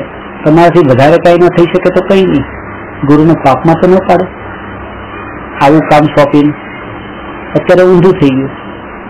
ધર્મ માર્ગ નો ઉપદેશ માતા પિતા આપવા માંડ્યા છોકરી શોધવાનું કામ ગુરુ કરવું કેટલા કહે છે? પોતાને ગુરુ પદે માનતા હોય. છોકરા છોકરીને જોડાવું મેળવી આપે. અને એ જ attraction કારણ બની જાય. કહેવાનું કે અહીંયા એક છોકરી આવે છે ને એક પ્રવચનમાં છોકરો પણ આવે છે અને બંનેને પ્રેમ થઈ ગયો. અને ગુરુને ખબર છે કે આ પ્રેમમાં પડ્યા છે. પડ્યા રે સારું છે. એ બે પ્રેમમાં છે, એના કારણે બે સંખ્યા વધી ને. હું તો એ જોઉં.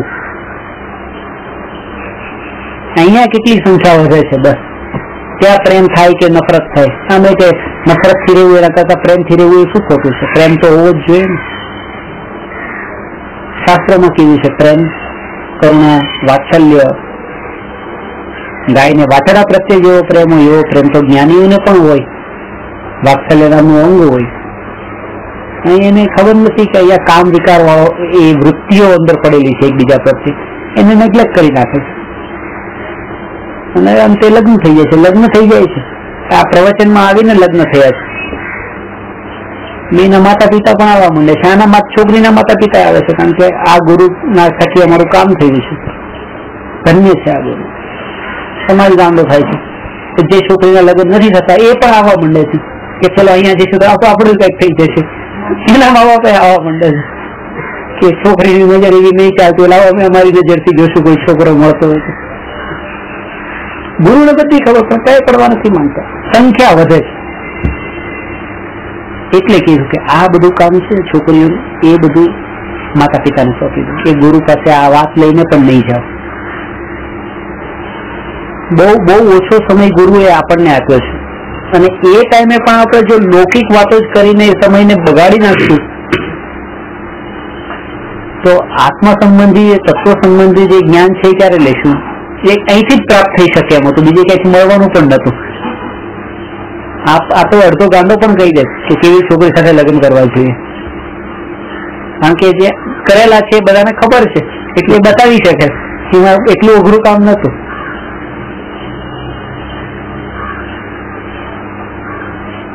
કુળ પરંપરા એ માતા પિતાની આજ્ઞા અનુસાર હોય છે ને એના કારણે જ એમાં દોષ નથી લાગતો. કેવો? કુળ પરંપરાથી થતું હોય તો લૌકિક માર્ગમાં કોઈ દોષ નથી કુળ પરંપરાથી ચાલતું હોય લોક માર્ગમાં કોઈ દોષ નથી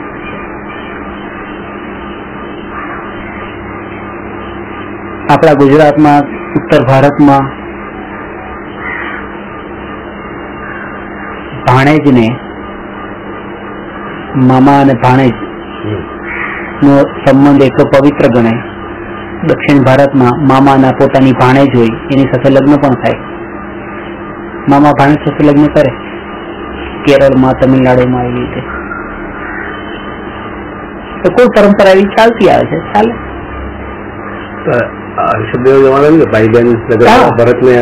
તો એ જ વાત કેવી છે કે કોઈ પરંપરા જે હોય એ એટલી દોષરૂપ નથી. એ લગ્ન કરે એટલા દોષરૂપ નથી. પણ ધર્મમાં જો કોઈ પરંપરા ઘૂસી ગઈ, આત્માના ધર્મ માર્ગના ધર્મ ક્ષેત્રે, તો એ ખોટું છે.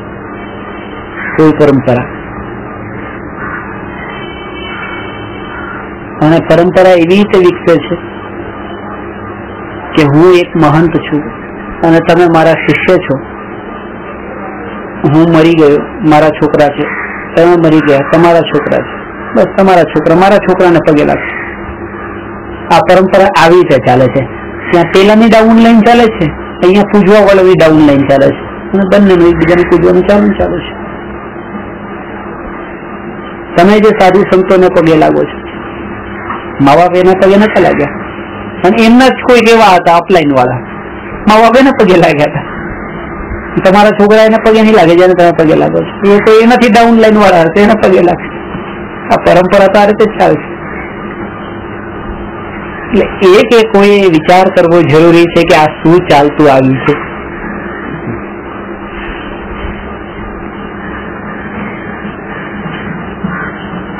એક જાન જતી હતી. જાનૈયાઓ ગળામાં હાર પહેરીને એ રીતે જતા હતા. બધાના ફૂલ હાર પહેરેલા હતા. લગ્ન થોડા ટાઈમમાં શરૂ થવાના હતા ને વરઘોડો નીકળ્યો હતો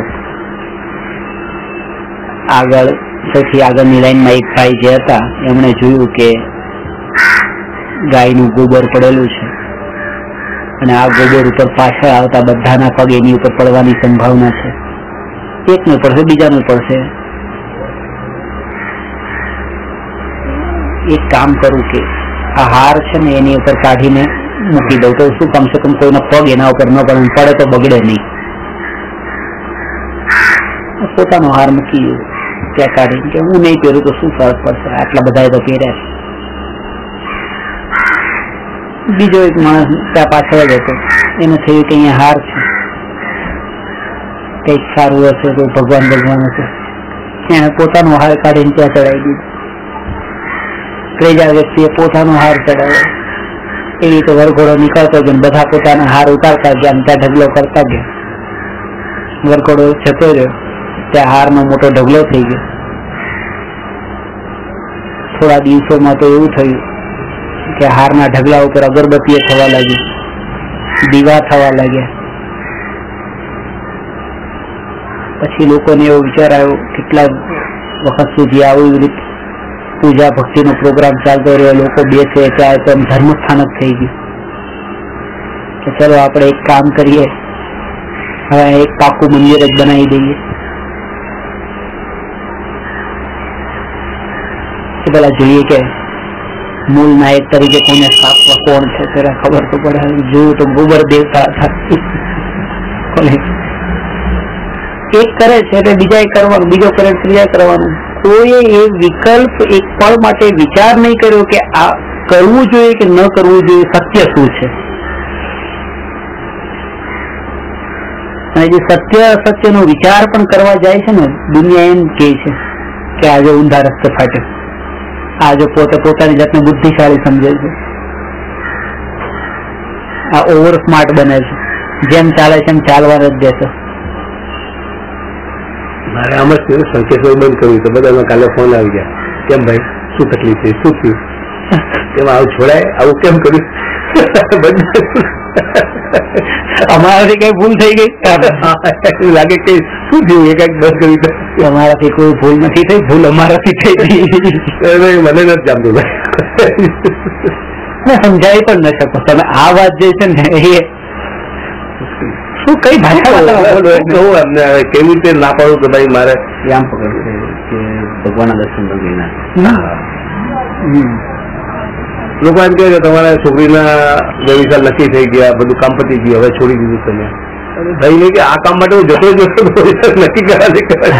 અને હજી તો લગ્ન થવાના છે લગ્ન થશે પછી છોડું તમારા વર્તે કે હવે આ પૂરું થઈ ગયું હવે છોડું. થઈ ગઈ એટલે ભગવાન સાથે સ્વાર્થ ભાવ પૂરો થયો ભગવાનને જે આ હમણાં જ કશું કશું કરી દે, જે કર્યું છે સમજાવવાનું પછી બંધ. નહીં સમજાયું છે. પછી આપ- આપણે સમજી લીધું ને કે એને નથી સમજી શકવાના અને આ જ સત્ય છે બસ બસ પછી સમજાવવાની ભાવના નથી રહી એ તો આખો સારો કેમ સમજતા નથી એ જ કારણ છે ને કે સા- છઠ્ઠા ગુણસ્થાન પછીના ગુણસ્થાન મૌન કેમ કીધા છે સમજાવવાનો ભાવ જ છે ખબર છે કે આ સામે વાળા અગિયારી છે અજ્ઞાન એટલો પણ સમજાય નહીં સમજી શકે સંસાર અજ્ઞાનતાથી ચાલે છે અને એની અંદર તમે પણ રહેલા છો તમે માનો છો કે હું બધાને જ્ઞાન કહી નાખું એ કેમ કરે? અને એવું નથી કે એને નથી સમજવું નથી સમજાતું. એને સમજવું નથી. સમજવું નથી.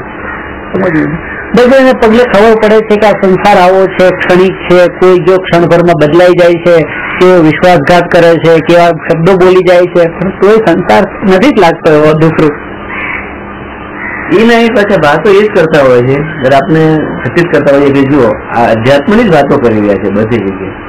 પણ જ્ઞાનમાં નથી. એટલે સમજતા નથી. બાકી વાત અધ્યાત્મની જ થાય છે દરેક જગ્યાએ. સંસારના એક પણ પ્રસંગમાં છે ને અધ્યાત્મ વગર ઘટતું જ પણ એમને ખ્યાલ નથી કે હું અધ્યાત્મની વાત કરી છું. એની સાથે સાથે કંઈક બીજું પણ એવું પોષાઈ જાય. ખરેખર. કોઈ કોઈ મહેમાન આવે તમારા મહેમાનને આવકાર તો આપવો જોઈએ ખાવા પીવાનું આપવું જોઈએ કે બરાબર છે. હા એ વાત તો ધર્મની જ વાત છે. ધર્મ પણ એ લખ્યું છે. પણ એમાં પાછું એક એક્સ્ટ્રા પોસાઈ જાય છે જો મેં સાચવ્યા મેં આટલું કર્યું મેં આવી રીતે એ કર્તૃત્વ ભાવ પોસાઈ જાય છે. અને એ ત્યારે બી એ કહેતો હોય છે કે જો આપણે આટલું કર્યું તો પણ આમ નથી તો આટલું ન કરવું જોઈએ. આ જ વાત ધર્મ પહેલાથી કહે ઇમિડિયેટ અને પોતાનામાં પાછળથી ખબર પડે છે. ત્યારે એ પણ અજ્ઞાન દ્રષ્ટિએ જ વાત કરતો હોય છે પણ પાછી એ જ પાછી બીજી વાત કરતો હજી બે જોડાઈ જાય અહીંયા ધર્મ બી છે. અને ત્યાં પછી એ પોસિબલ છે આ વ્યક્તિમાં કે આટલો એક ભાઈને ઘરે બોલાવ્યા અને આટલો રાગ કર્યો કે પણ એવું સાંભળવામાં આવ્યું કે કે આના ઘરે જમવાનું સારું બનાવ્યું નથી કે આના કરતા બોલાવા જ નહીં. એ કે રાગ પેલા હતો, હવે રાગની પૂર્તિ ન થઈ તો પછી એ નિર્ણય લઈ લીધો. તો આ નિર્ણય પોતાની પોતાને જચે છે ને પોતાને રૂચે છે એટલે. પત્ની માટે પણ રાગ ઘણો કર્યો છે. અને પત્નીએ પણ એક વખત એમ કહ્યું કે આમાં કઈ મને કઈ તમે રાખી જ નથી જિંદગી પર સાચવીને સારી રીતે ખુશીથી રાખી નથી. તે એ વિચાર નથી હોતો કારણ ડિવોર્સ આપી દો એટલે જ્યાં પોતાથી થઈ શકે એ બંધ કરવું છે જે ચાલુ રાખી શકે ચાલુ રાખવું છે બસ પોતાને મન ભાવે એમ જ છે. વિચાર આવે છે ના હજી વધારે સારી કોશિશ કરી દઉં. સારી રીતે હજી વધારે રાખી દઉં. સંતોષ સંતોષ પેલા એક સાડી લાવતો તો બે સાડી લાવી. ખુશ કેમ ન રહી. જાય કોઈ સારું ત્યારે જ લાગે છે કે જયારે ખરાબ લાગે એક ભાઈ કે ને કે આ તો ભાઈ બહુ ધાર્મિક છે. જઈએ એટલે શું જમાડે છે? કેવો વ્યવહાર છે? કેવો આપણી સાથે રાખે છે? એટલે જે નથી રાખતા એ બધા ખરાબ થઈ ગયા. આ દ્રષ્ટિ છે ને એનાથી બહુ સાવધ રહેવાનું હોય છે. જે પણ આ સારા અને ખરાબ નો ભેદ કરે છે ને એ લોકોને તો ઘણું સાવધ રહેવાનું, કેમ કે ક્યારે આપની અંદર ખરાબ માની લે ને. નિષ્પક્ષ જ. હવે ત્યાં વિશ્વાસ કરવા જેવો છે. બાકી એ કહે છે કે આ ભાઈ તો બહુ સારો છે. એમના સુકન બહુ સારા. એ એમને ક્યારે અપસુકન વાળા માની લે ને?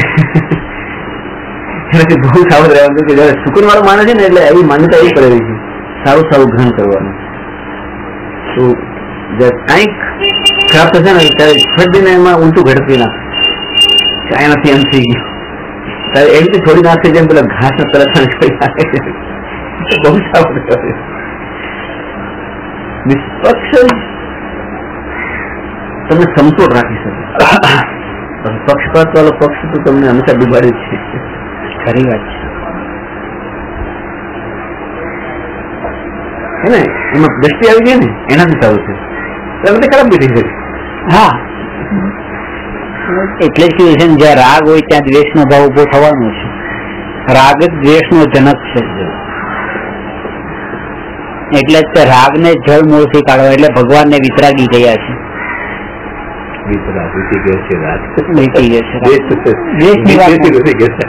એ તો મૂળ જે હતું મૂળ મૂળ નીકળી ગયું.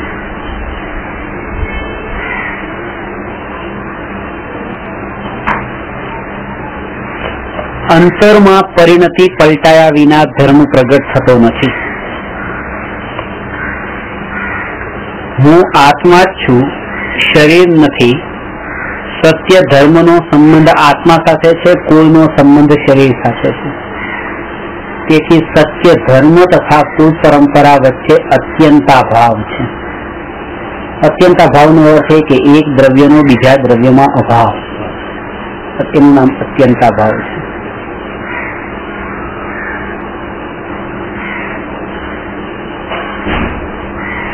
દીક્ષા લઈને જે જાય છે, તો કુળ પરંપરાના ટોળ જ છે. કુળ પરંપરા દીક્ષા વાળી નથી. પોતે માતા પિતા ભલે એ રીતે ગયા ભોગવ્યો સંસાર, પોતે નીકળી જવું છે. એટલે જે મરણકા હરણમાં મેં લખ્યું કે કોઈ દીકરો પોતાના મા, પોતાની માને રડાવીને સુખી થઈ શકે એમ કે આજ સુધી જેટલા શુદ્ધ ભગવાન અનંત સુખી શુદ્ધશીલા પર બિરાજમાન છે, એ માને રડાવવા વાળા છોડીને ગયા ત્યારે માએ તો એમ કીધું નતું કે દસક લગ બેટા તું જા. એ તો વૈરાગ્ય નો ભાવ દીકરાને હતો. માને તો વૈરાગ્ય હતો જ નહીં. માને તો માએ દીક્ષા લઈ લીધી હોત. માને હતો વૈરાગ્ય. વૈરાગ્ય દીકરાને હતો. ભલે કોઈ એમ પણ કીધું કે ઠીક છે આજ્ઞા. પણ એને રાગ તો છે જ પાછો. વિતરાગી નથી, વિતરાગી હોત તો એ પેલા નીકળી ગયા હોત બીજા રાગ છે ત્યાં પછી વિયોગનું દુઃખ પણ છે. થાય છે સુખી, કોઈ પણ. અનંત સુખી થાય છે જીવ. પ્રયોજન એ છે કે તમારી પોતાની વૃત્તિને પ્ર- અંદરમાં ભાવ કેવા છે. બીજા સાથે કોઈ એનું કનેક્શન નથી. એટલે તમે બીજાને દુખી કરો છો અને બીજાને સુખી કરો છો, એવો જે ભાવ છે, એ જ ખોટો છે. આગળની ત્રણ ચાર પેઢીથી આગળ જઈએ તો બાપ દાદાના નામ યાદ નથી. પછી આગળ ત્રણ ચાર પેઢી પછી નામ યાદ નથી આવતા.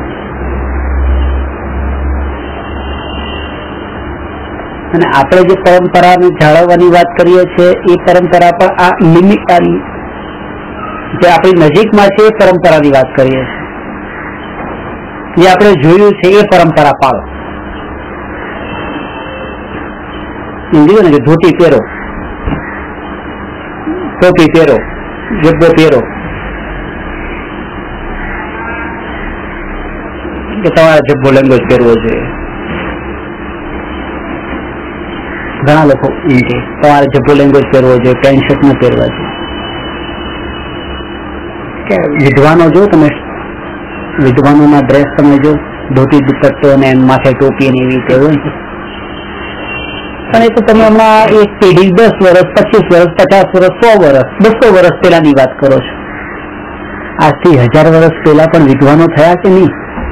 બે હજાર, પાંચ હજાર વર્ષ પહેલા વિદ્વાનો થયા કે નહીં? શું એમાં ધોતી ધોતી કરતા હતા? તમે મૂળમાં જોવા માંગો છો તો પછી મૂળમાં તો કોઈ એનો જવાબ જ નથી. તમે જેમાં છો એમાં તમારી અંતર પરિણતિને પલટાવો બસ. હા તમારે બીજાની સામે વિદ્વાન છો એવું બતાવવું હોય તો એના માટે ડ્રેસ બહુ જરૂરી છે. તમારે જ્ઞાની તરીકે બીજાની અને વૈરાગી તરીકે બીજાને બતાવવું હોય તો બહુ જ જરૂરી છે કે તમે આ જ ડ્રેસ પહેરો આવા જ રંગનો પહેરો. પણ ખરેખર જો તમારે વૈરાગી તમે વૈરાગ દશાને પ્રગટ કરવા માંગતા હો તો પછી ત્યાં તમારે જરૂરી નથી કે તમે આ જ કપડાં પહેરો. પેન્ટ શર્ટ પહેરો કે જબ્બો લેંગો પહેરો કે ધોતી જબ્બો પહેરો કે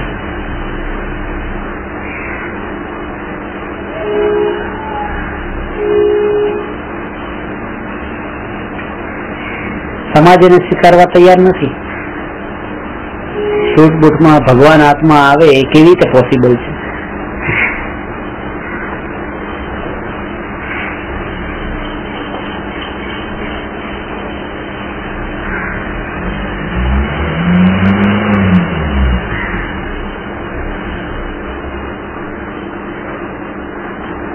એટલે જ લોકોને આશ્ચર્ય થાય. રત્ન જડિત સમોસરણની વચ્ચે ભગવાન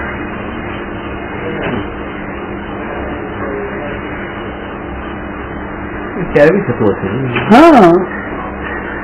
આ વાતો ચાલતી જશે તો ત્યારે અજ્ઞાનતા તો અનાદિકાળ જેમ જીવ અનાદિકાળથી છે તો જીવનું અજ્ઞાન અનાદિકાળથી છે.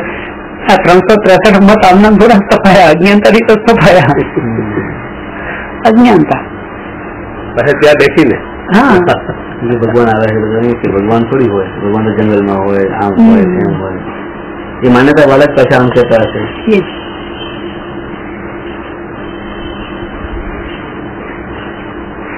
નબળાઈ ત્યાં નથી. જ્યારે પણ એમ જયારે આવા કપડા પહેર્યા તમે આવા કપડા પહેર્યા તમે આવા કપડા પહેર્યા નબળાઈ ત્યાં નથી. નબળાઈ અહીંયા જ છે કે હું હજુ હજુ મારી દ્રષ્ટિ એવી નથી જાગી.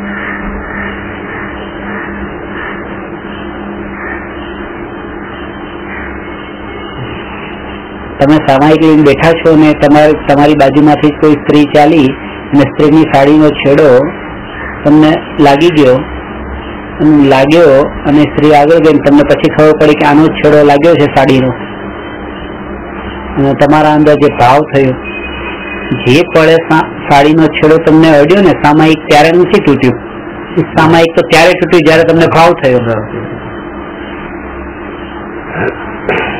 ત્યારે સામાયિક કીધું જ નતું ત્યારે સામાયિક જ હતું.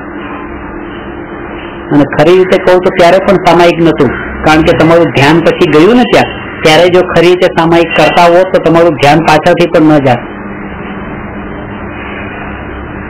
એટલે ફિઝિકલ જે ક્રિયા છે ને એને લાગતું જ નથી કે આવી રીતે આ સંભવ જ કેવી રીતે હોઈ શકે?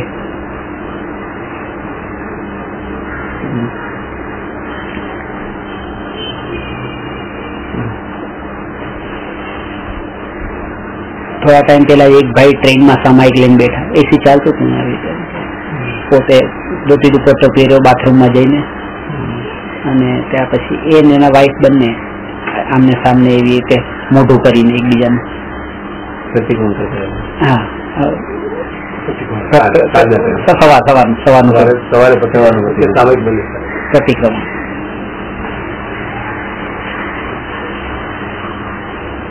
એ કોઈ પણ કપડામાં ગમે ટ્રેનમાં પણ કરી શકાય ટ્રેનમાં પછી મને કે ટ્રેનમાંય કરી શકાય તો જેની દ્રષ્ટિ હવે એવી આવી ગઈ છે કે ટ્રેનમાંય કરી શકાય, એ તો પછી પેન્ટ શર્ટમાંય કરી શકાય.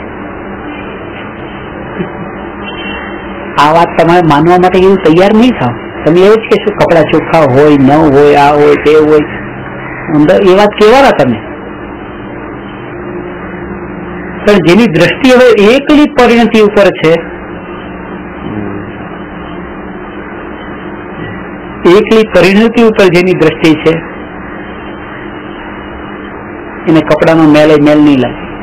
અને જેની દ્રષ્ટિએ જે મલિનતા ઉપર છે, એને શરીરનો મેલ મેલ લાગશે. શરીરનો મેલ મેલ લાગશે. અને શરીરના અંદર પણ અશુચિમય છે માસ લોહીનો પિંડ છે, એવી જ મલિનતા એને નજર આવશે. કારણ કે એની દ્રષ્ટિ જ ગંદકી ઉપર છે. નિર્મળતા ઉપર, પરિણતિ ઉપર દ્રષ્ટિ નથી. પહેલા એને એક એ વાતનો વિચાર આવે ને કે ત્યાં પણ આ થઈ શકે છે, કોઈ પણ સ્થિતિમાં થઈ શકે છે. તો એ કરશે ત્યાં. કોશિશ તો કરશે જ. પણ એને બાંધી દીધું કે આ જ કપડામાં થશે ને આ જ જગ્યાએ થશે તો પછી આવી રીતે અત્યારે હું રસ્તા પર ચાલતા ચાલતા કેવી રીતે હું ભેદ જ્ઞાન કરું? સંભવ જ નથી. કેવી રીતે ક્ષમતા ભાવ રાખું? સંભવ નથી. તો જે સંભવ નથી, એવી કોશિશ શું કામ કરવાની?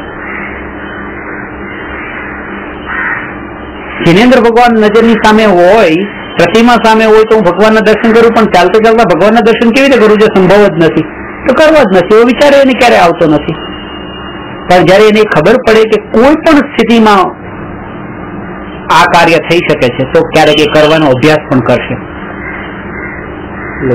આવી જડતા જ્યાં હોય છે ત્યાં દ્રષ્ટિ ક્રિયા પર જ હોય છે. કાર્ય. ક્રિયા પર જ હોય છે. એમને પૂછતો ને તો પણ એમને આ ચીજ ખ્યાલ થઈ પરિણતિની વાત જ ખ્યાલ થઈ ગઈ કે પરિણતિ ધર્મ છે એ ખ્યાલ નથી આવતો. ક્રિયા ધર્મ છે.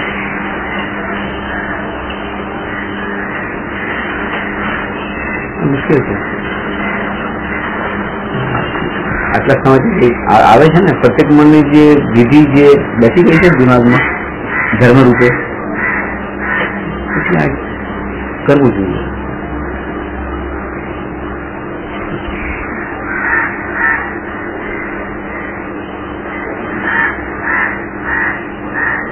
ક્રિયા ઉપર જ દ્રષ્ટિ હોય, ત્યાં જ આશ્ચર્ય થાય કે આવું કેમ? આવું કેમ? આવું હોય? એક મારા વિદ્યાર્થી પ્રવચનમાં બેસે ને મોટું સિંહાસન છે, સિંહાસન ઉપર બેસે. અને મારા માટે ટેબલ નાનું હોય આવી સ્ટૂલ છે. સ્ટૂલ અંદર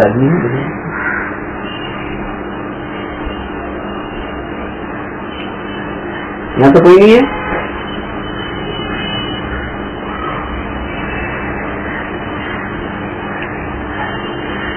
એક વખત હું કોઈને લઈને ગયો એમને ત્યાં તો એ બેઠા કરો પછી આ ભાઈ પ્રવચન પૂરું થયું હવે બંને પાછા નીચે ઉતર્યા એ તમને આમને ત્યાં જાઓ છો એ તો જવા જેવું તમને લાગે છે તમને વિનય આવો આપે છે એ પોતે સિંહાસન ઉપર બેસન થવા માટે આવું ટેબલ મંગાવે નાનું એ શિષ્ય પદે બેઠા છે. મને ગુરુ પદે માને છે. શિષ્ય શિષ્યનો આગ્રહ હોય છે કે આજ જોઈએ. ગુરુ ને આગ્રહ નથી હોતો. ત્યારે તો ગુરુ પર કહેવાય છે. જો હું એ આગ્રહ રાખું તો પછી મારે જ મારી જગ્યાએ બેસવાનું બરાબર છે. કે મને મળી જશે. પણ એ પદ પછી શિષ્યનું કહી જશે. તમે કીધું આ દ્રષ્ટિ તમે જોયું છે તમે આ દ્રષ્ટિ જ જોઈ. મને તો ઈચ્છા નતો આવ્યો. કે ના ના, કે મને તો બહુ જ, એ પોતે પણ વિદ્વાન છે. પોતે પણ એ વિદ્વાન છે. હું તો ન ચલાવું.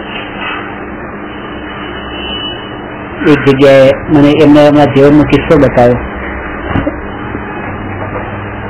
ડાઇનિંગ ટેબલ ઉપર ભણવાનું હતું કે મારે ભણાવવાનું કામ હતું. હું ભણાવવા માટે ગયો એટલે હેડ ઓફ ધ ફેમિલીની જે ખુરશી હોય એક ખુરશી એની બાજુની જ તે. તો કે એ બેન તો કે હેડ ઓફ ધ ફેમિલીની ખુરશી પર બેસાડા હતા. અને મને સાઈડની બાજુની ખુરશી પર બેસાડી અને કે એમ પ્રવચન આપો. એટલે મને વારંવાર ખટકતું કે કે હું આવી ખુરશી મને એ ત્યાં એ ભણવા માટે બેઠા છે પોતાની મોટાઈ બતાવવા બેઠા છે? વારંવાર લાગે. એટલે કે મેં એક વખત એમને કહી દીધું કે, બેન, તમે એક કામ કરશો, તમે સામે આવતા રહો. તો તો કે કેમ? તો કે મારા આમાં ક્રોસમાં જોવું પડે ને, એટલે કે મારું આ ગળું છે ને, ડોકમાં દુખાવો દુખવા લાગે છે. અને સામે બેઠા હોય તો સીધું મને વધારે ફાવે એમ.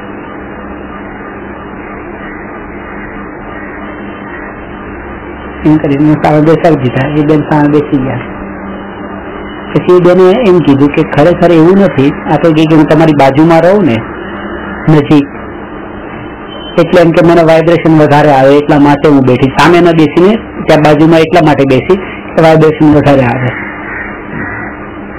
તો આ ભાઈ ઊભા થઈને કે હેડ ઓફ ધ ફેમિલી ની ખુરશી બેસી ગયા. લો નજીક આવી છે, હું વાઇબ્રેશન વધારે ગમે તેમ કરી છે અમે. ગમે એમ કરે તો એને જે ખુરશી ઉપર બેસી આવે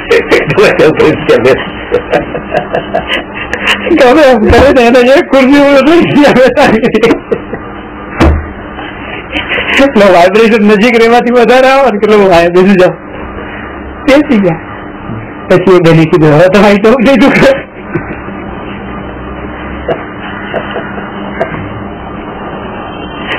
જ્યાં માન કરે આટલો તીવ્ર તો પોસાતો હોય ને મને આજે સમજાઈ ગયું કે આ તમે આવી રીતે તમે જે ભણાવો છો ત્યારે મને ખબર પડી કે મેં જિંદગીમાં આવી આવી ભૂલો કરેલી છે. બધી વ્યર્થ છે. કઈ કઈ નજરમાં લેવા જેવું નથી. કોણ ક્યાં બેઠું છે શું છે જવા બધી દ્રષ્ટિ ટાળવાની છે. બધી બહારની દ્રષ્ટિ છે. જ્યાં સુધી એ દ્રષ્ટિ રહે છે ત્યાં સુધી ગુરુ તો દૂરની વાત. સાચું શિષ્ય પણ ઉપર નથી પડતી શિષ્ય વાત એ છે કે જે એ ગુરુ બની શકે. એ જ ગુરુ બની શકે.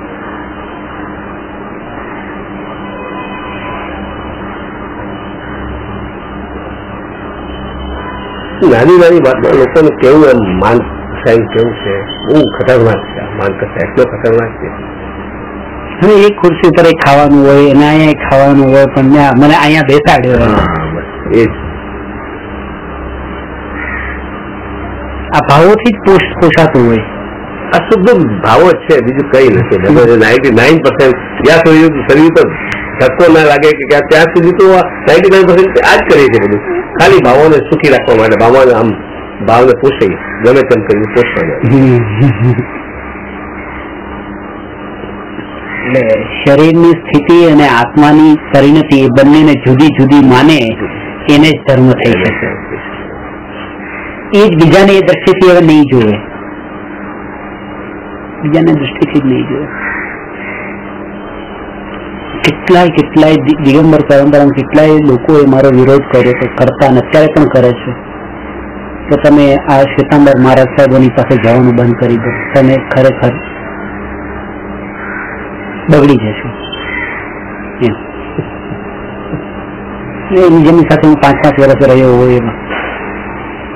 તો પાંચ વર્ષ તમારી સાથે રહેવાથી બગડ્યો નહીં, તમારા જેવો.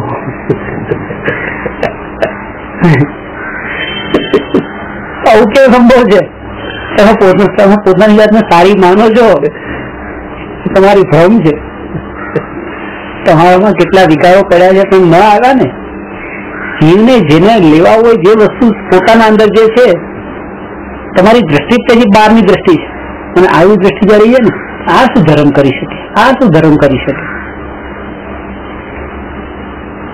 આમાં એ થઈ જાય છે કે માન્યતાઓની અંદર જ ધર્મ માની લીધો છે ને કે લગ્નતા થી જ મોક્ષે જવા છે. આ રાખવાથી જ આમ થશે. આ ખાવાથી જ આમ થશે. એમાં પરિણતિ રહી નહીં. એમાં પરિણતિ ક્યાંય ના રહે? ચાહે કપડા વાળા હોય કે કપડા વિના હોય પણ વાત બે ક્રિયામાં જ રહી ગયા. પરિક્રમા મનના પરિક્રમા જો કપડા નથી પહેર્યા આગ્રહ રહી ગયો. આગ્રહ રહી ગયો. એ એ પણ પરિગ્રહ જ છે. ગુરુ ગુરુ ગુરુ ગુરુ ગુરુ કોણ છે? આજ મારા ગુરુ. શ્રીમદ રાજચંદ્રજી અમારા ગુરુ. બરાબર પણ એ જ ગુરુ એવું તમે નહીં માનો. કાનજી સ્વામી ગુરુ હા ગુરુ છે માનો સ્વીકાર છે. પણ તમે એ જ ગુરુ નું બાકી બધા નહીં એમ નહીં. ગુરુ પદ ને પૂજ્ય કીધું છે. ગુરુ નું નામ નથી લીધું કારણ કે. વ્યક્તિ વિશેષમાં તો તમે જતા રહેશો ને. તો શું થશે?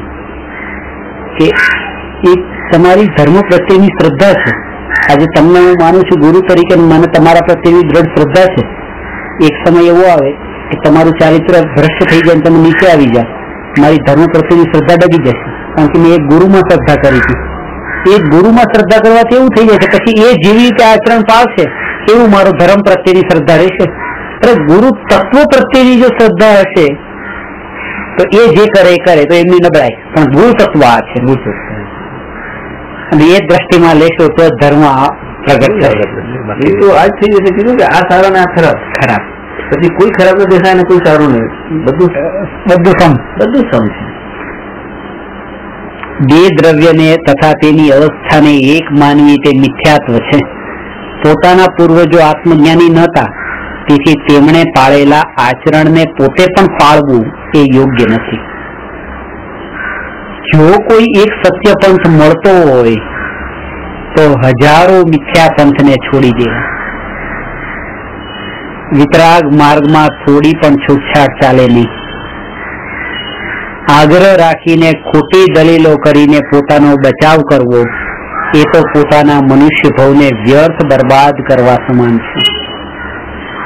જે જીવ કુળ પરંપરાથી મનાતા ગુરુને સાચા માનીને તેમાં સમર્પિત થઈ જાય છે, તેથી તે સાચા ગુરુને પામતો નથી.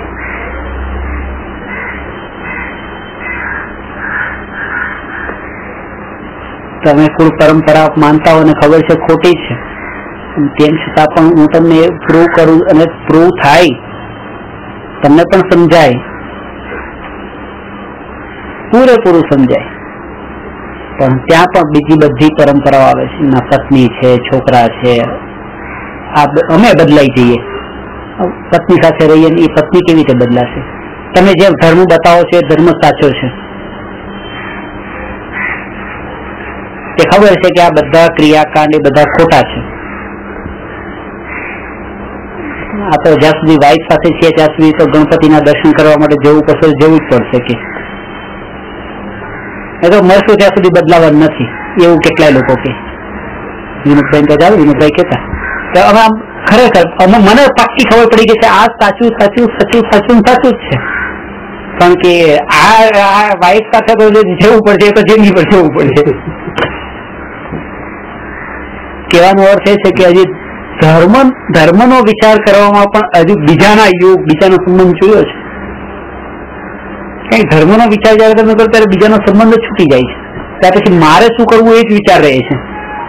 ભલે તમે હજી ક્રિયાથી તમે કરતા હો પણ અંતરની પરિણતિમાં એવી ઉદાસીનતા પૂરેપૂરી હોવી જોઈએ. એ તો હોય છે કે હવે અમે સુગર વાત કરું. એને કંઈક પેટમાં ગરબડી હતી. એના સસરા છે ને એ ઘણું બધું માને છે મહાદેવજીને પગે લગાડવાનું એને જુવાન કરવાનું બધું માને તો આ જાઓ. તો ગયા. ગયા ત્યાં વાત થઈ કે પેસોટીની પ્રોબ્લેમ હોય છે ને આમ હોય છે ને. ત્રણ ચાર વાતો ત્યાં થઈ. તો હવે એક આ એવું બેસી ગયું કે જો આ જઈને આવ્યા ને જુવાન જઈને આવ્યા અને આ બધી ઉકેલો બધા આવ્યા. હવે ત્યારે આપણે સમજતા હોઈએ છીએ. આ બધું અહીં વ્યર્થ બધું વ્યર્થ છે. પણ હવે હીરો આમાં માને છે. હીરાને આમ નતો કરતો ને પણ હવે આ કે ટાઈમ ઉઠવું જોઈએ ખાવું જોઈએ. અને હવે એને આ ફાયદો થઈ ગયો. હવે એ આપણે સમજવા છતાં પણ ત્યારે એને આમ નથી કહી શકતા કે આ બધું ખોટું છે. આ છોડી છોડી એટલે ત્યારે આ બધું પછી કુલ પરંપરા છે કોઈ કોઈ માન્યતા બદલાવાય છે એટલે ભલે પડે દરેક વસ્તુમાં કેટલી માન્યતા દેખાય છે? પેલો પેલો આ માન્યતામાં પડી રહ્યો અને આપણે નહોતું માનતું ત્યારે આપણે કહેતા છે કે તું ઉઠ સવારે. આનાથી નહીં થાય. તારે સવારે ઉઠવાથી જ પોતાના અનુભવથી ખબર પડે છે. તો સરદાર બીજી પોસાઈ ગઈ ને ત્યાં મહાદેવજીની શ્રદ્ધા પોસાઈ ગઈ પાછી.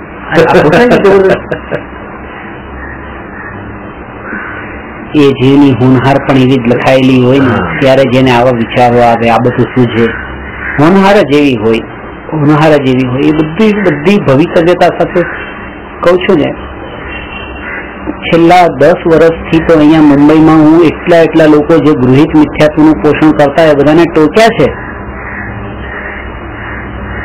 એવા ચાપકા માર્યા છે. અને છૂટવા વાળું છૂટ્યું છે ને વાળું જે રહ્યું પણ છે. પણ હજી ભણ્યા છે?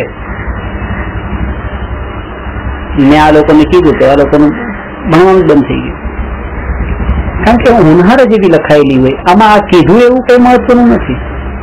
કહેવામાં તો બધાને કહેવાતું હોય, બધાને કીધું હોય કે આ આ વસ્તુ આમ છે ને આ વસ્તુ આમ છે, આ સત્ય આમ પણ હોનહાર જયારે એવી ન હોય. તમને એવો વિચાર આવે ચલો ઠીક છે મારા ધર્મનું આ ભણવું જ નથી. મારે આ કરવું જ નથી. હવે હું આજે કરું છું એ જ કરીશ. હું મારી રીતે કરીશ.